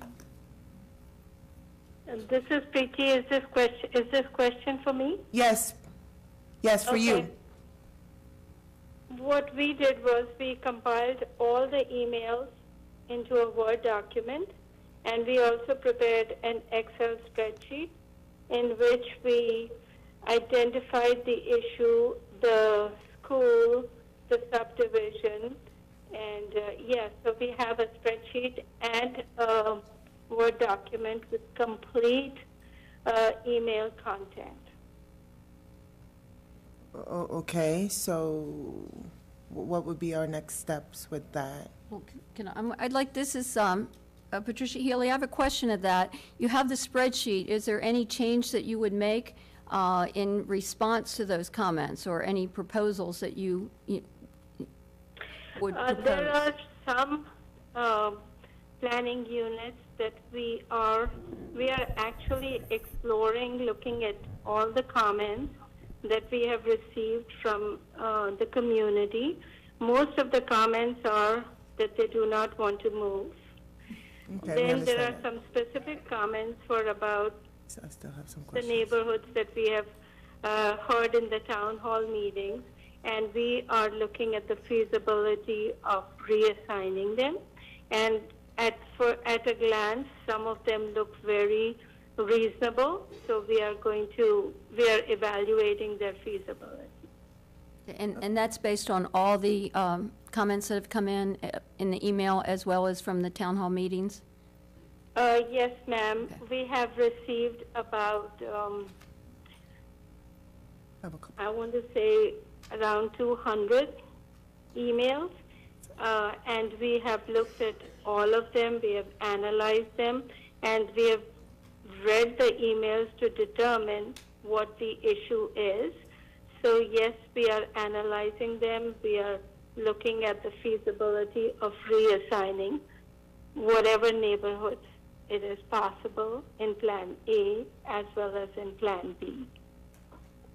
Okay. Ms. okay. Yeung, did you want to? Yes, um, Preeti, I had another question. Um, I'm trying, I'm not trying to l- talk too loud, but I want you to be able to hear my question. Um, I wanted you to be here to show me the tool, and unfortunately, you're not. So I'm not sure if this question could be answered, but like, in, this question was asked by the public. Plan A and Plan B look similar in terms of numbers, except, you know, the area is a little larger when um, the redistricting was done. Where did you start? Like, did you start like in the north or in the south and then moved around to the west? Like, why are they so similar? And if you start somewhere else, will it still give you the same result? Like, is it based off the criteria? If you change the criteria, then you will have a different output? Or um, would that not matter? Okay, first of all, I want to say that uh, I really wanted to be there today, but the weather did not cooperate for us. Uh, um, I would like to uh, get another opportunity where I could show you the process because I can sit here and describe it to you, but if you provide me with an opportunity to show you the tool and the process, I think it would make things more clear. And uh, we were asked if we are available on Saturday morning, and we have said that we could be there between 9 and uh, noon time. So we would really like that opportunity. And uh, to answer the other part of your question, yes, we used the same redistricting criteria, and we looked at different ways so that we could provide you with the different scenarios. And uh, the process was we started, we started with the schools which had the highest capacity, which were over capacity. And in this case, you know, looking at the current data, we had Winding Creek and we had Rocky Run. So we started with Winding Creek, which is currently at 96.93% capacity. And in 2019-2020, it is projected to be at 109.31%. So we started with Winding Creek and we looked at what are the schools, neighboring schools, which school can provide relief to Winding uh, Creek. And then we went around and we looked at each planning unit that would that was adjacent to the neighboring school and that if it could provide relief. determining which planning units can be moved to which school. And we looked at program capacity of the school, the number of students in the planning unit, and then we looked at proximity to schools and then assigned the planning unit to the closest school as closest school as much as possible.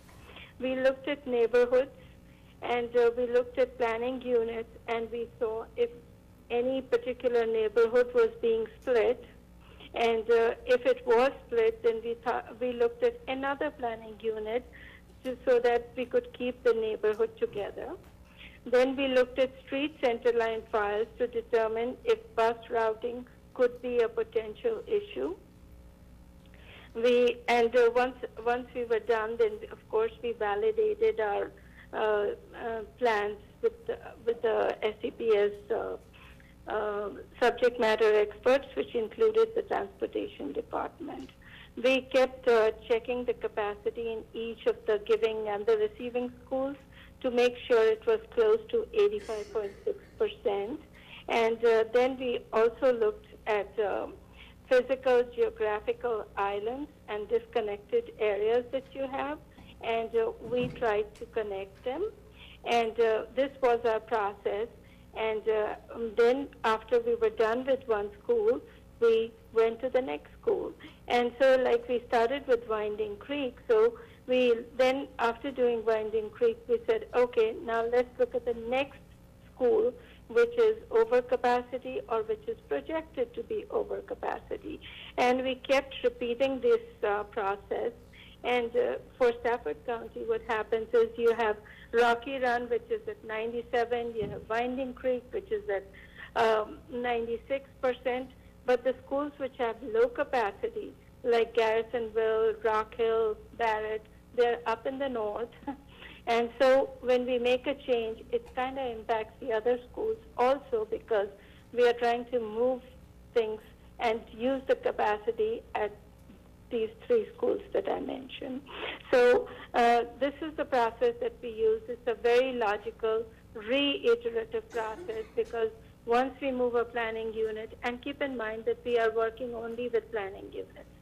So it's a very logical, reiterative process and once we look at it, we go back and we revisit it. And of course, we were targeting 85.6%. And I, like I said, you know, if uh, we get an opportunity, I would really like to come by and show that to you. Thank you, Preeti. Dr. Chase? Um, So I, I wanted to pull it back to um, considering a plan that somebody in the community has created. Um, And, and uh, while I appreciate the, the input and the effort, I, I do think it's important if we're talking about having an independent process that, um, you know, we, we put out an RFP for a consultant, and um, I think going with a plan that uh, an individual who, who may be trying really hard to be objective, may not be completely unbiased in what their, their goals are. And so I would just say I, I feel like we need to be a little bit careful about that. Um, and the other thing I just wanted to, to say that the consultant keeps talking about Winding Creek being at 96%. Winding Creek currently is over 100% capacity. It might have been at 96% in September, but that is no longer the case. And, and I want to stress that because a lot of people are, are not sure why we're doing this, um, and couldn't we wait? Um, but we really do have to provide relief uh, to these schools that are, are, are really over capacity. Mr. Cater? Yes, and I, I do appreciate that, and, and I, I agree as well. Um, I think if there are some good points of, of anyone's, anyone's plans that have been brought forward, I, I want to make sure that we are considering all of those. Um, I want to take it back because I, um, and I'd really like to get some sort of general consensus on this one. I forgot um, to mention, because it was in a separate email, um, another one of my major concerns is that we the concern is that we will appro- approve a redistricting and lumped into that redistricting approval is the special ed um, transfers. And so my question is, I, I, question statement, I want to make sure that our, if we are going to move any of these classrooms or programs to other schools, um, I want to make sure that that is a vote independent of the vote that we are taking for the redistricting process. And if that is the case and we can do that, because I think it deserves, uh, I, I think it deserves a very close look at who we are moving, where, why, how many times have they been moved before, all the same things, but an independent look. Um, and if we can do that, and you guys agree, I, I guess that has to be done before, um, like you said. So I, I didn't want us to comb over that um, and not really come to a conclusion or an agreement. I I have a question I'd like to raise with respect to that. Um, Dr. Kizner, was the special ed proposal done before the plans or after the plans? I got the impression it was done after the plans came to us. When, when was that proposal done? Because the first time I saw it was when I walked into one of the town hall meetings. Let- Let me touch upon a special ed plan. So the current placements of our low incidence programs are mainly, not all the time, due to where we had open space. Okay? This was an opportunity to work with approximately three hundred and fifty children. We've heard from about twenty, and we respect every single one of their feedback. We saw an opportunity to place those programs where we thought would be the greatest benefit for the children in those current programs and looking down the road. Acknowledging that as you're experiencing with the general population, people like where they are. So, we, so we then worked with the consultants to say, this is where we believe the program, that's why A and B have the same distribution, have the same placements of the programs. So then we factored in where there would be lost capacity, because we would have a special ed, uh, room there, or greater capacity because it would be removed. Now, Wendy and I did meet this morning, not tonight, but um, we are prepared on Saturday to present another proposal based on the feedback. And we are also looking at some of the emails, like all of you have been, of some individual students where we think the parents have a very valid concern, and try to address those student by student, because that's what we should do for every student, but we absolutely do that for children with disabilities. So I, I just want to put the big picture in that, uh, this was obviously before I arrived here, but looking at past minutes and everything and, and, and, and documents, in many cases, I don't want to say all, the, where they are located now, because that was where available space is. And we saw this as an opportunity to improve that, improve upon that. And, um, you are correct, if, uh, I'm not sure if anybody will say this, but you would be correct to say, if we just left it as it is, we could do that too. We would just have to work with the consultants to make adjustments. But we don't think that is really, if we use proximity as one of the criteria, which I would have asked you, to go back to Ms. Egan's first comment.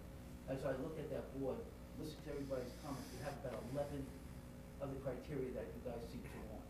And there seems to be even some question, of, are we still staying with eighty-five or, or ninety percent? So to help, um, consultants, I think I would ask you, so we don't sit back here a couple of weeks, still not pleased, is to narrow it down exactly what we want. But saying that, um, we are prepared to do what we, we would prefer to do what we think is, we, we would like to keep this out of the process in a sense, because we think that this, um, uh, is a better way of addressing the needs of our students. And one of the requirements children with disabilities to be as close as possible to their, to their, um, community, their school, their neighborhood. But we also acknowledge that we, we believe we can make some tweaks. And we have already, Wendy has already worked with, uh, Matt and, and to tell the consultants, if we did that, then this school's gonna either lose a classroom or another classroom is gonna be gained. So I guess I'm just sharing, we we're ready to do what the board wants. I feel very comfortable and I know you do too, that uh, Wendy uh, is is completely looking at the best interest of the current 350 children, and also just basically. Is your mic on? Oh, well, I thank you. I- Yeah. That- Yeah, we got to remind you the mic. Anyway, So, I, I- Madam- I don't know. Just real quick. Yeah, You guys have heard me enough, but. You're going um, to, you're going to work with us. Yeah, we're gonna work with you. And you're going to work with the team, uh, Yeah, Wendy yeah. Martin Johnson. All right, but, but to May go I- back to Mr. Cater's question, I just want to That's what I was clarify gonna- this before we. Right, that's go what, on. I- that's where I'm, I, I- I, I didn't, I never thought we were vi- voting on the uh, special ed as part of the redistricting proposal A or B. I, I think this is something that we need to look at independently. And hypothetically, if we are at, you know, the eighty-five percent target, there should be room in every single school for special education programs, at least. well, that, that, for that now. that was my point, Madam Chair, that I wanted to uh, address with Mrs. Decatur, is that y- y- um, it it has, to- it- it'd be nice, if every, if all the schools were projected to be at eighty-five percent in Plan A and Plan B, or the next plan, then, then maybe a class or two would not be a big deal. However, let's take Ferry Farm, for example, uh, opening at ninety percent on Plan A and ninety-four percent with Plan B, and that was with the removal of the one autism class. And so that equates to the, you know, the autism, if the autism class stayed there, there'd be eight students in that classroom.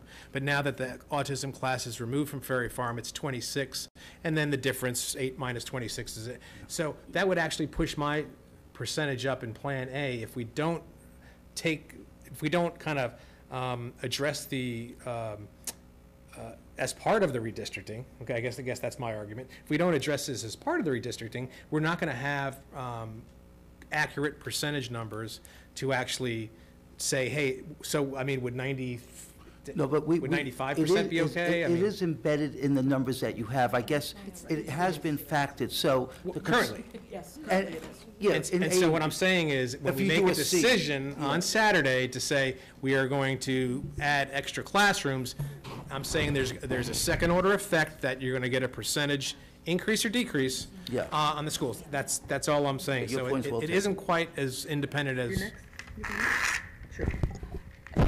I, I, guess I'll just renew what my first comment was tonight, that I think that that plan drives some of where we go. And that's why I was saying I thought that needed to be addressed first. I mean, that's kind of where I was trying to take us. And then I would, I, I am very open to hearing what our experts say. That's what, I mean, that's why we're here.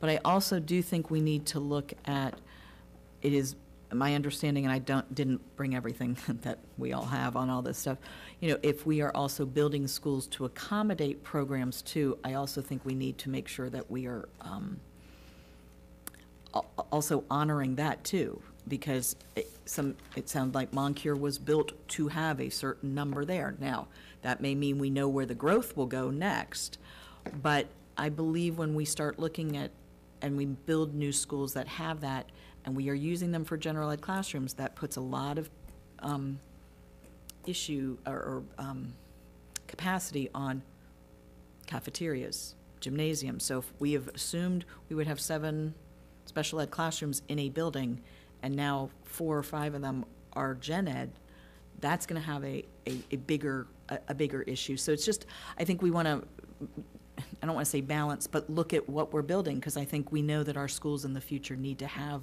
spaces for these programs, because I believe even Ms. Martin Johnson said, you know, in two to three years, we could have an autism program in every class, in, in every school. So I think we need to be thinking broadly there. So, I- you know, I agree with everybody. I think that's a, I think that's a decision point we have to probably make sooner rather than later. Yeah, and I- and I guess why I'm a little confused is I thought we'd made this decision. Um, I thought right at the very beginning of this process, we said that we wanted special ed located where it should be rather than where there was space. And we asked staff to do that, and they did that.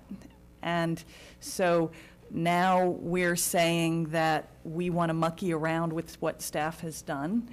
And um, it's not my area of expertise. Um, And I would personally be really insulted if it was my area of expertise and everybody was telling me that um, we shouldn't do that. So I, I, I I certainly think that, I'm happy to hear that staff has looked at what people are asking for and has made tweaks. But I don't know whether we want to push this process out so much further by um, getting more involved than, than maybe we're um, qualified to be. And I- have a, a- a comment on that. If the assignments were made based on where the students are today, those students are not going to be in elementary school. A lot of them won't be in elementary school four years from now. They may be in a different place. So what do we do then? I thought we were somewhat trying to centralize um, within the county where we were going to offer certain programs to cut down on the distances that the students would have to, to travel, because in the past, we have put them where there was room.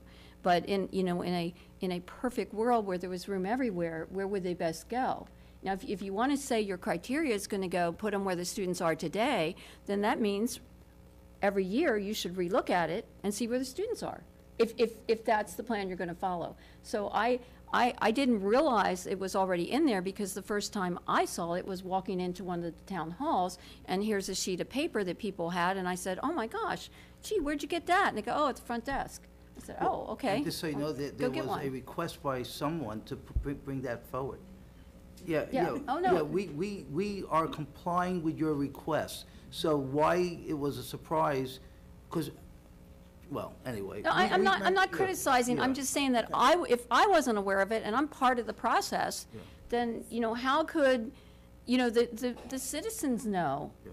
you know, what was done, and, and I, you know, I'm hearing that the criteria is closest to where the students are today, but I do question that because our population is increasing, our, we all know from our subdivisions, as the students grow older, you know, and, and move out of school, a lot of times the families stay in those houses and there's no new students coming in, they're moving somewhere else. So it's something to think about, you know, what we're going to do at some point in the future.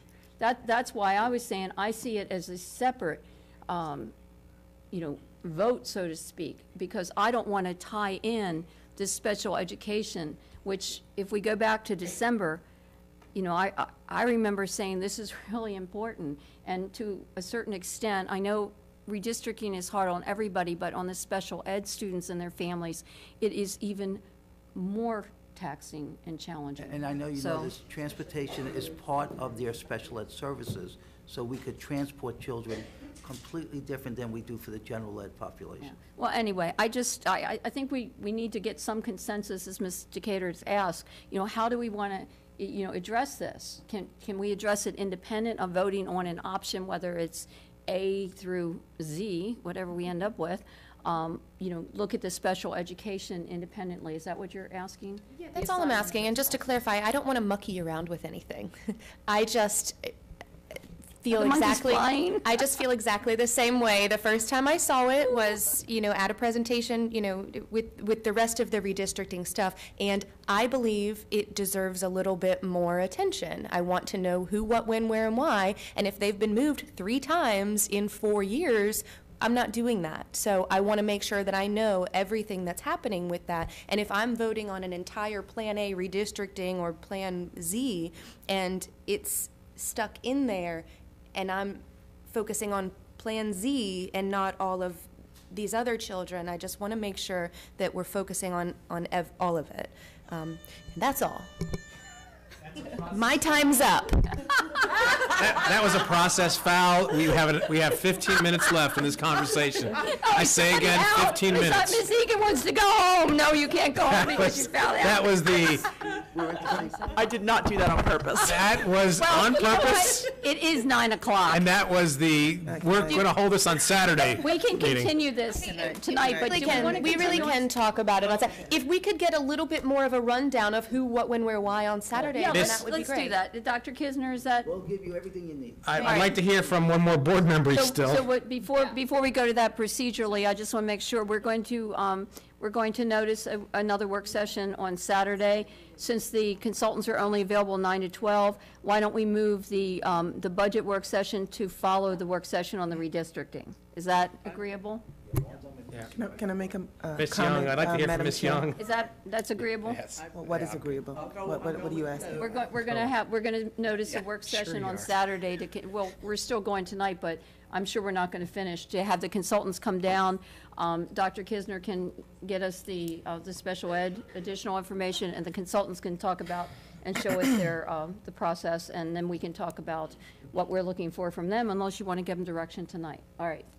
Did you, is there anybody who hasn't had more turns? Who, who's next? Miss Yeung. Miss Yeung? You again?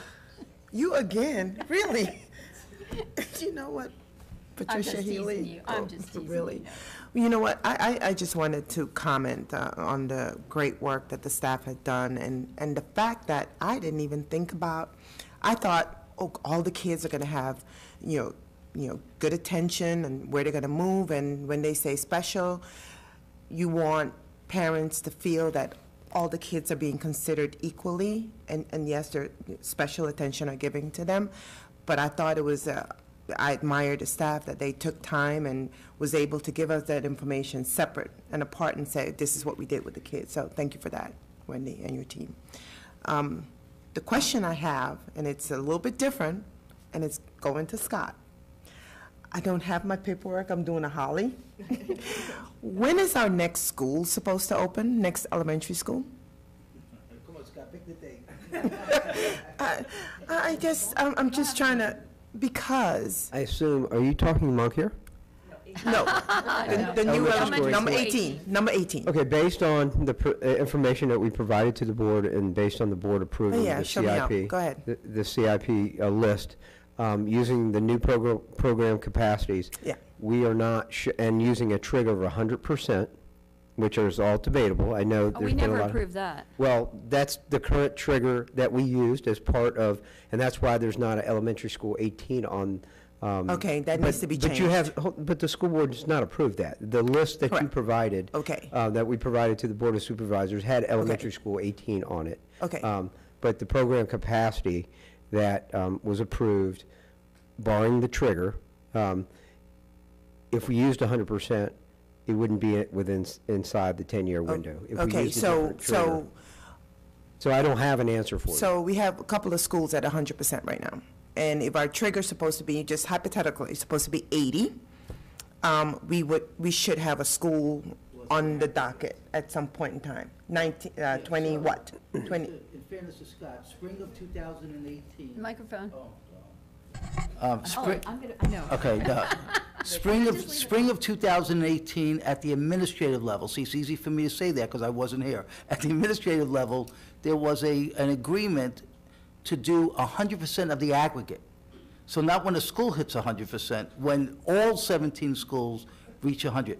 Last week's meeting with the vice, with the chair and vice chair, and the uh, chair and, I guess, vice chair of the Board of Supervisors, we had discussions about this, because the, um, uh, the uh, uh, the comp plan says ninety percent.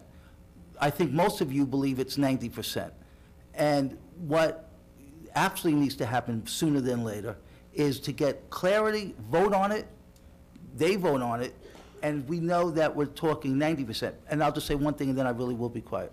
And I'm not even sure that's even the best procedure. no, if I don't get all my because- questions out, I, I forget them just like you Yeah, do. because We're in the same if we range do now. ninety percent of the aggregate, you still may have some schools that, are some communities that are growing much faster, and they may hit 100, 110, 10%.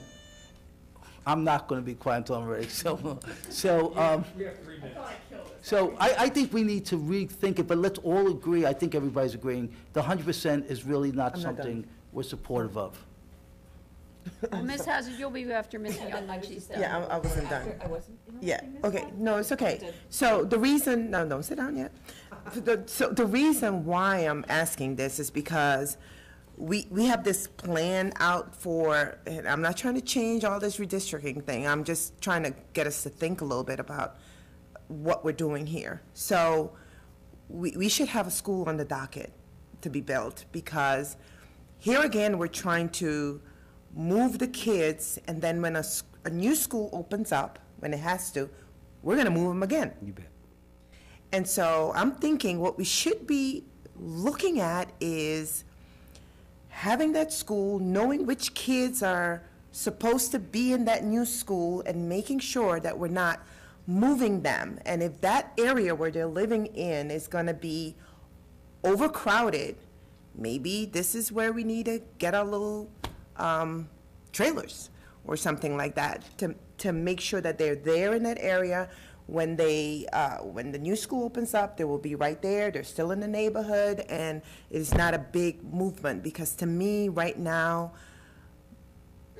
there are too many kids moving, and they will have to move again, and this is not what we want if we're looking at the list of walking distance, feeder pattern, contiguous attendance areas, and socioeconomic characteristics of school populations. That's all.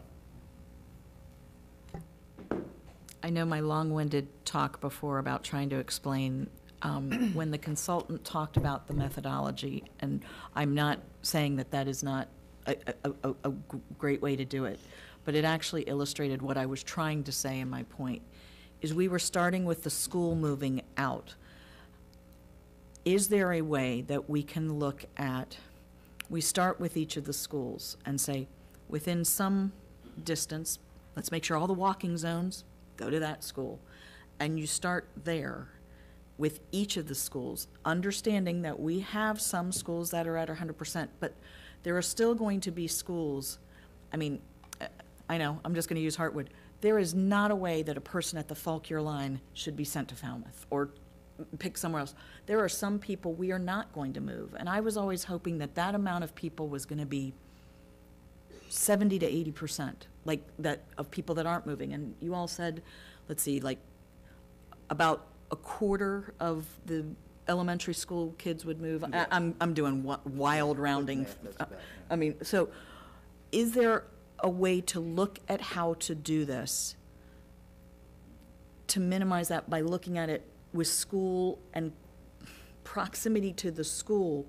And then I get it, we're going to get somewhere, and I know it may not be a circle, but this, I'm a visual. At some point, some of those circles, we're gonna go, oh, that ship puts that school at hundred and twenty-five percent, or whatever it may. So we'll know that there are some areas that are on the f- fringes of these circles, that it might get to what I think a lot of the emails we are seeing is, I'm not close to where I'm going. Does that make any sense? I'm, maybe that helps what my comment was So- earlier. So, so have a radius Some, as, or as- as- something. as a starting point. Actually, that's what I was thinking as well. But that was what I was trying to say with my point of saying, we started with the school. That's the proximity and closest school. I think we're all getting a um, notice from uh, Stafford County Public Delay- is Schools. it I- delay I or didn't answer cancel? mine, but, um, Delay? gee, what, Reassessed? Two-hour, two-hour delay. I'm just saying, if we are looking potentially of running something new, because some of the comments we're hearing that A and B are so similar, this may not work. They may, it may be run that way and say, this is really a disaster. But that's just conceptually how I think.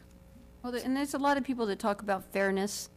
Um, You know, if you're, if you're near a school, why shouldn't you go there? You can And- walk to it, right? Right, or, or, or your house has been there for years and, Right. you know, you've always been at that school. Can can Um, I ask a quick question? S- th- ju- On the backs of that comment, did they take into the, into consideration the discussion that we had on preemptive redistricting? Did that come into play at all? Because that was something I was very specific about. Oh, right. She might have signed off. Time to go. That Ms. was- Mather, I, I'm here. did you hear, did you hear my question, ma'am? Can you say it again, please?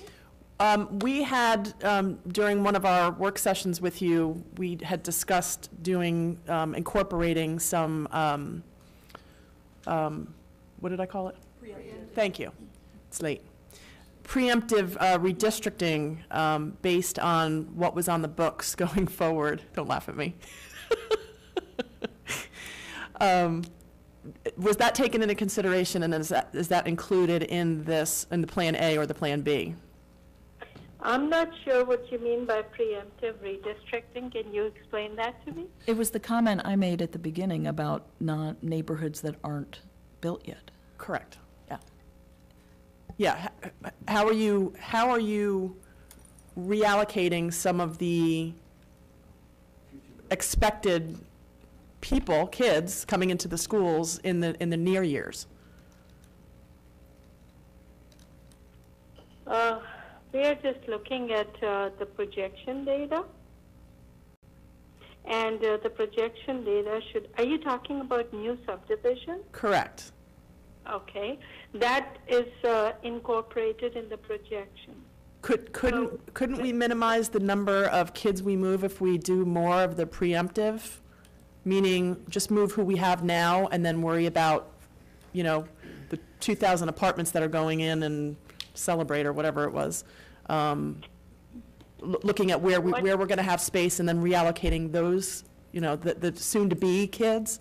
Kind of like what we did with Embrey Mill at the last redistricting. Okay. What, uh, right now we are looking at the fourth year. What we could do is, or what could happen is, it's a suggestion that we could look at the nearer years, like just two years out. So that would uh, exclude those kids, which would probably apartments being built in like three years, four years. So that way, those kids could be eliminated, not taken into consideration.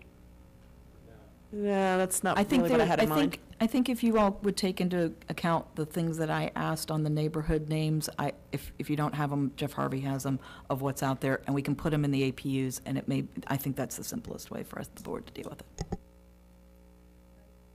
I- I just wanted to, Yeah, I mean, if there is data that would support it, we, I'm happy to use it. If I could just clarify, we do have all approved subdivisions as of S- September of every year incorporated in the projections. Um, As far as the preemptive redistricting, that gets a little tricky because every new proposed, or every approved development, as soon as it's approved, doesn't get its own planning unit assigned to it. uh, Because there may be a hundred acre farm where we're gonna have a hundred houses come in, but right now it's one house. So every, so therefore that planning unit is not currently statistically significant to run projections on uh, now.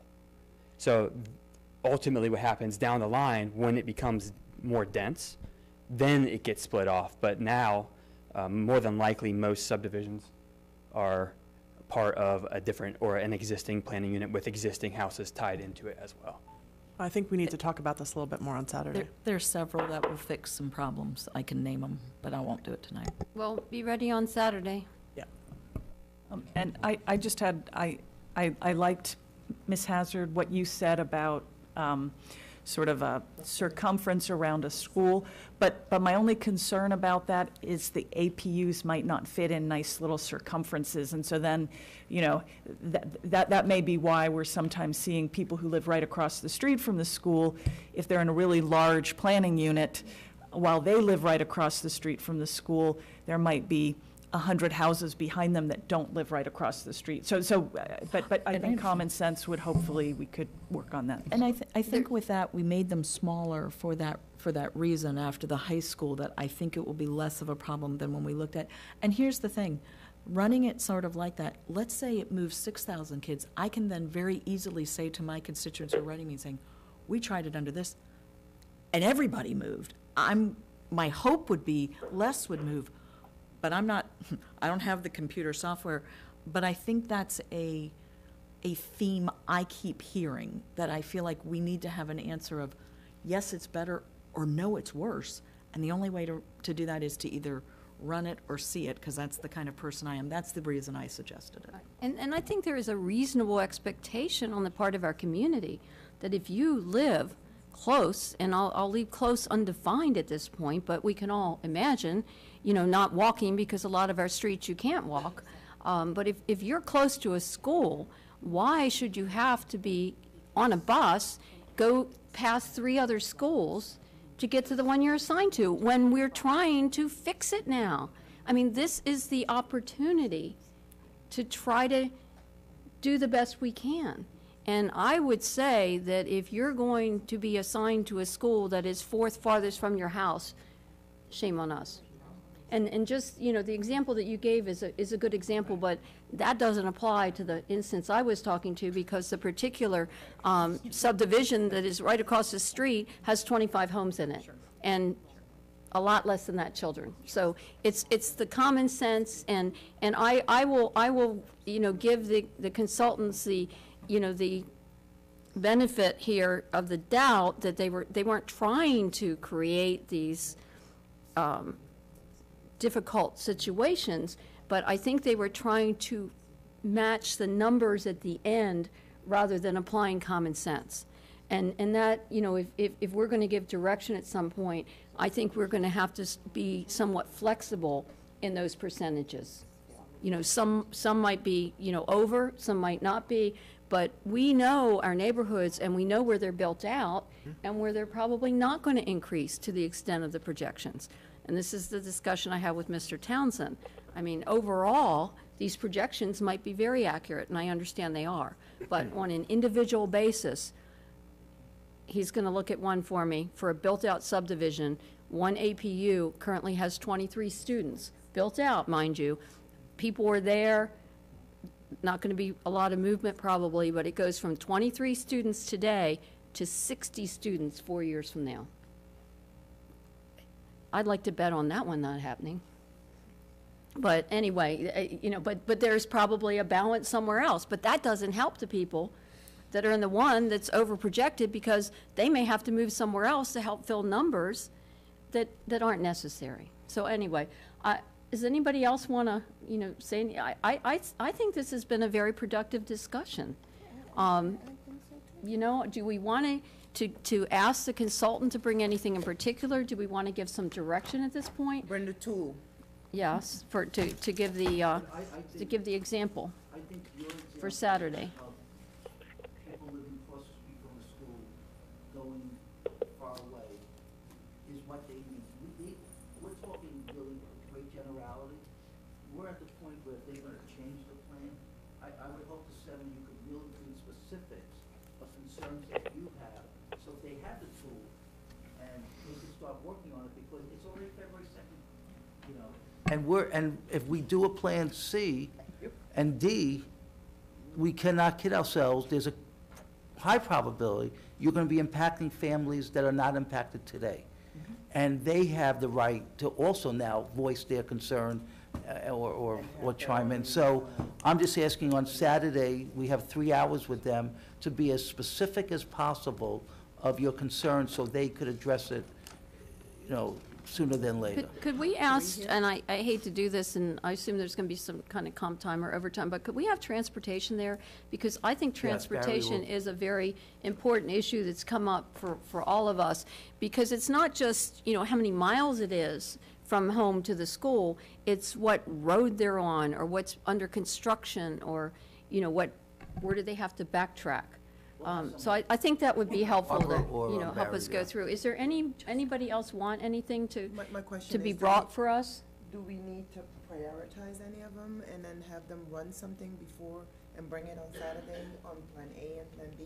Well, it, Like it, change, it- have the top at this three? point, we can, we can have discussion, we can't make any decisions because we're in a work session. Now, I, we, perhaps we might want to announce a, um, special call meeting at the end of the work session my if we do want to make some, um, decisions and, and give very specific direction to the board. So I, I think that might be wise if we decide we don't need to have it, we don't have to. So we will schedule the work session to begin at nine, a, um, special call meeting, um, with the topic of the redistricting to immediately follow that work session, to be followed by another work session on the budget.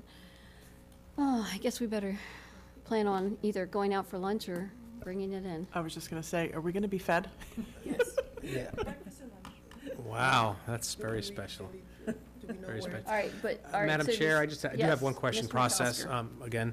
Uh, Will, uh, so they'll bring the tool, and uh, will we be able to make on the, s- on the spot um, inputs to the tool and have them spit out percentages? Um, ArcBridge, Yeah, Miss Preeti, yeah. Preeti. hey, w- will you be, will you be able to bring the tool and do on-the-spot corrections to the tool? To the percent, and give us percentages for Of a APUs? copy of the, of the data. Make a copy and bring a copy of the data, not the real data. What are you, what are you talking about? One, one at a time. What is Let it? him You know, finish. you get your question. No, no, you go ahead. Mr. McOsker, you finish yours, Ma'am, and do- then you can go. Will you, will you have the computer software with you so we can make on-the-spot corrections to APUs? Uh, I can, bring, I will bring the tool, I can show you, I can show you the numbers, yeah, I can do that. Okay. We, we would like that But, done. I- but I can do it as a demonstration, and then whatever you would like, we can go back, do the numbers, and give them back to you. Scott Horan's gonna say something He now. doesn't look happy. Well, I want to make sure the board understands, she will not be able to make a change in the plan that will affect the entire plan. She can make a change to a certain um, attendance zone, and then they have to manually see how that works across 17 elementary school attendance zones.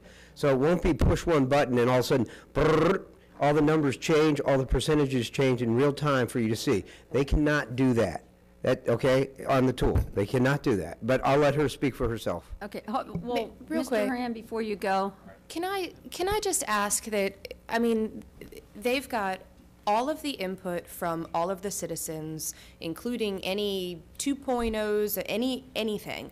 Um, They have all of the input from all of the board members. Can we send them back to the drawing board and ask them to assess this data, come back to us with a, with a plan that, that fits more closely to what we've asked for now, considering um, feeder patterns, driving the roads, traffic patterns, all of the things that we have just collected and what they've read. And when they are ready, bring it back to us and let us then look at what they have, have processed or figured out from all of this because it doesn't make any sense to sit around on Saturday and have this same conversation and play with APUs and say Garrisonville, no, no, Ferry Farm, and we don't want to get into that. So can we just ask them to go back to the drawing board with the information they now have? I am yelling so that you can hear me. I'm not trying to be like boisterous. Um, can we, can we ask them to go back to the drawing board and bring us? And if, and if Saturday is not enough time, we know that we have to make a decision in two weeks, but if Saturday is not enough time. No, no, no, no, no, no, no, we don't have to make a decision I'm in sorry, two weeks. sorry. You have to middle March, in my opinion. to Okay, say yes. if, if Saturday is not enough time for them to do so, well, we've got plenty of other things to do on Saturday. Right, Ms. Hazard. I would like to have the consultant reply, a- and it can come later, about the visually, di- or conceptually different way of doing it from school out. A radius. Yeah. And if, in the end, they say that doesn't work, I, I can live with that, but that would be a request I would have, or at least some analysis of a report back on Saturday, whether that's, doesn't work, it does work, because to me, that may create itself a new plan. Right. Just, Turn the mic on. Ms. Healy made a comment that I would maybe ask the board to think about, that maybe the eighty-five percent, we don't have to have standardization of eighty-five percent, because maybe the other request you want to, and I don't know if this could even be possible, is just look at the families that are impacted today. Is there another plan with just those families? I'm trying to truthfully avoid other families being impacted. So is there a way of maybe reducing the number of families impacted and just, or, or at least change it where it makes more sense and not all of a sudden draw in more, more families? That's, just wondering if that could be Well, that, something. that, that's one way to look at it, but I would also like to consider Ms. Hazard's suggestion, and I, I think that goes along with, with everyone's, you know, you know, thinking about that. I think, I think Saturday is gonna be our opportunity to talk with the consultant and, and give more of our thoughts. We've all said a lot tonight, but I know I have more to ask about. Um, and there may be more people in the community between now and then, that now that they know this is all going to be, you know, under review and, and, and consideration, may, you know, get their thoughts in as well. Um, and I, I, we, we've heard from a lot, you know, a lot of people, a lot of communities, but there, there may be, you know, some others. So, um, we'll, if we, if we come Saturday, the consultant's going to be prepared to, to give us feedback. We can give more thoughts, and then we can, you know, talk about where we want to go to proceed. But if there is a possibility, ArcBridge, that you can look at what Ms. Hazard's, you know, d- discussing, and I, I don't, is there any objection on the board to that?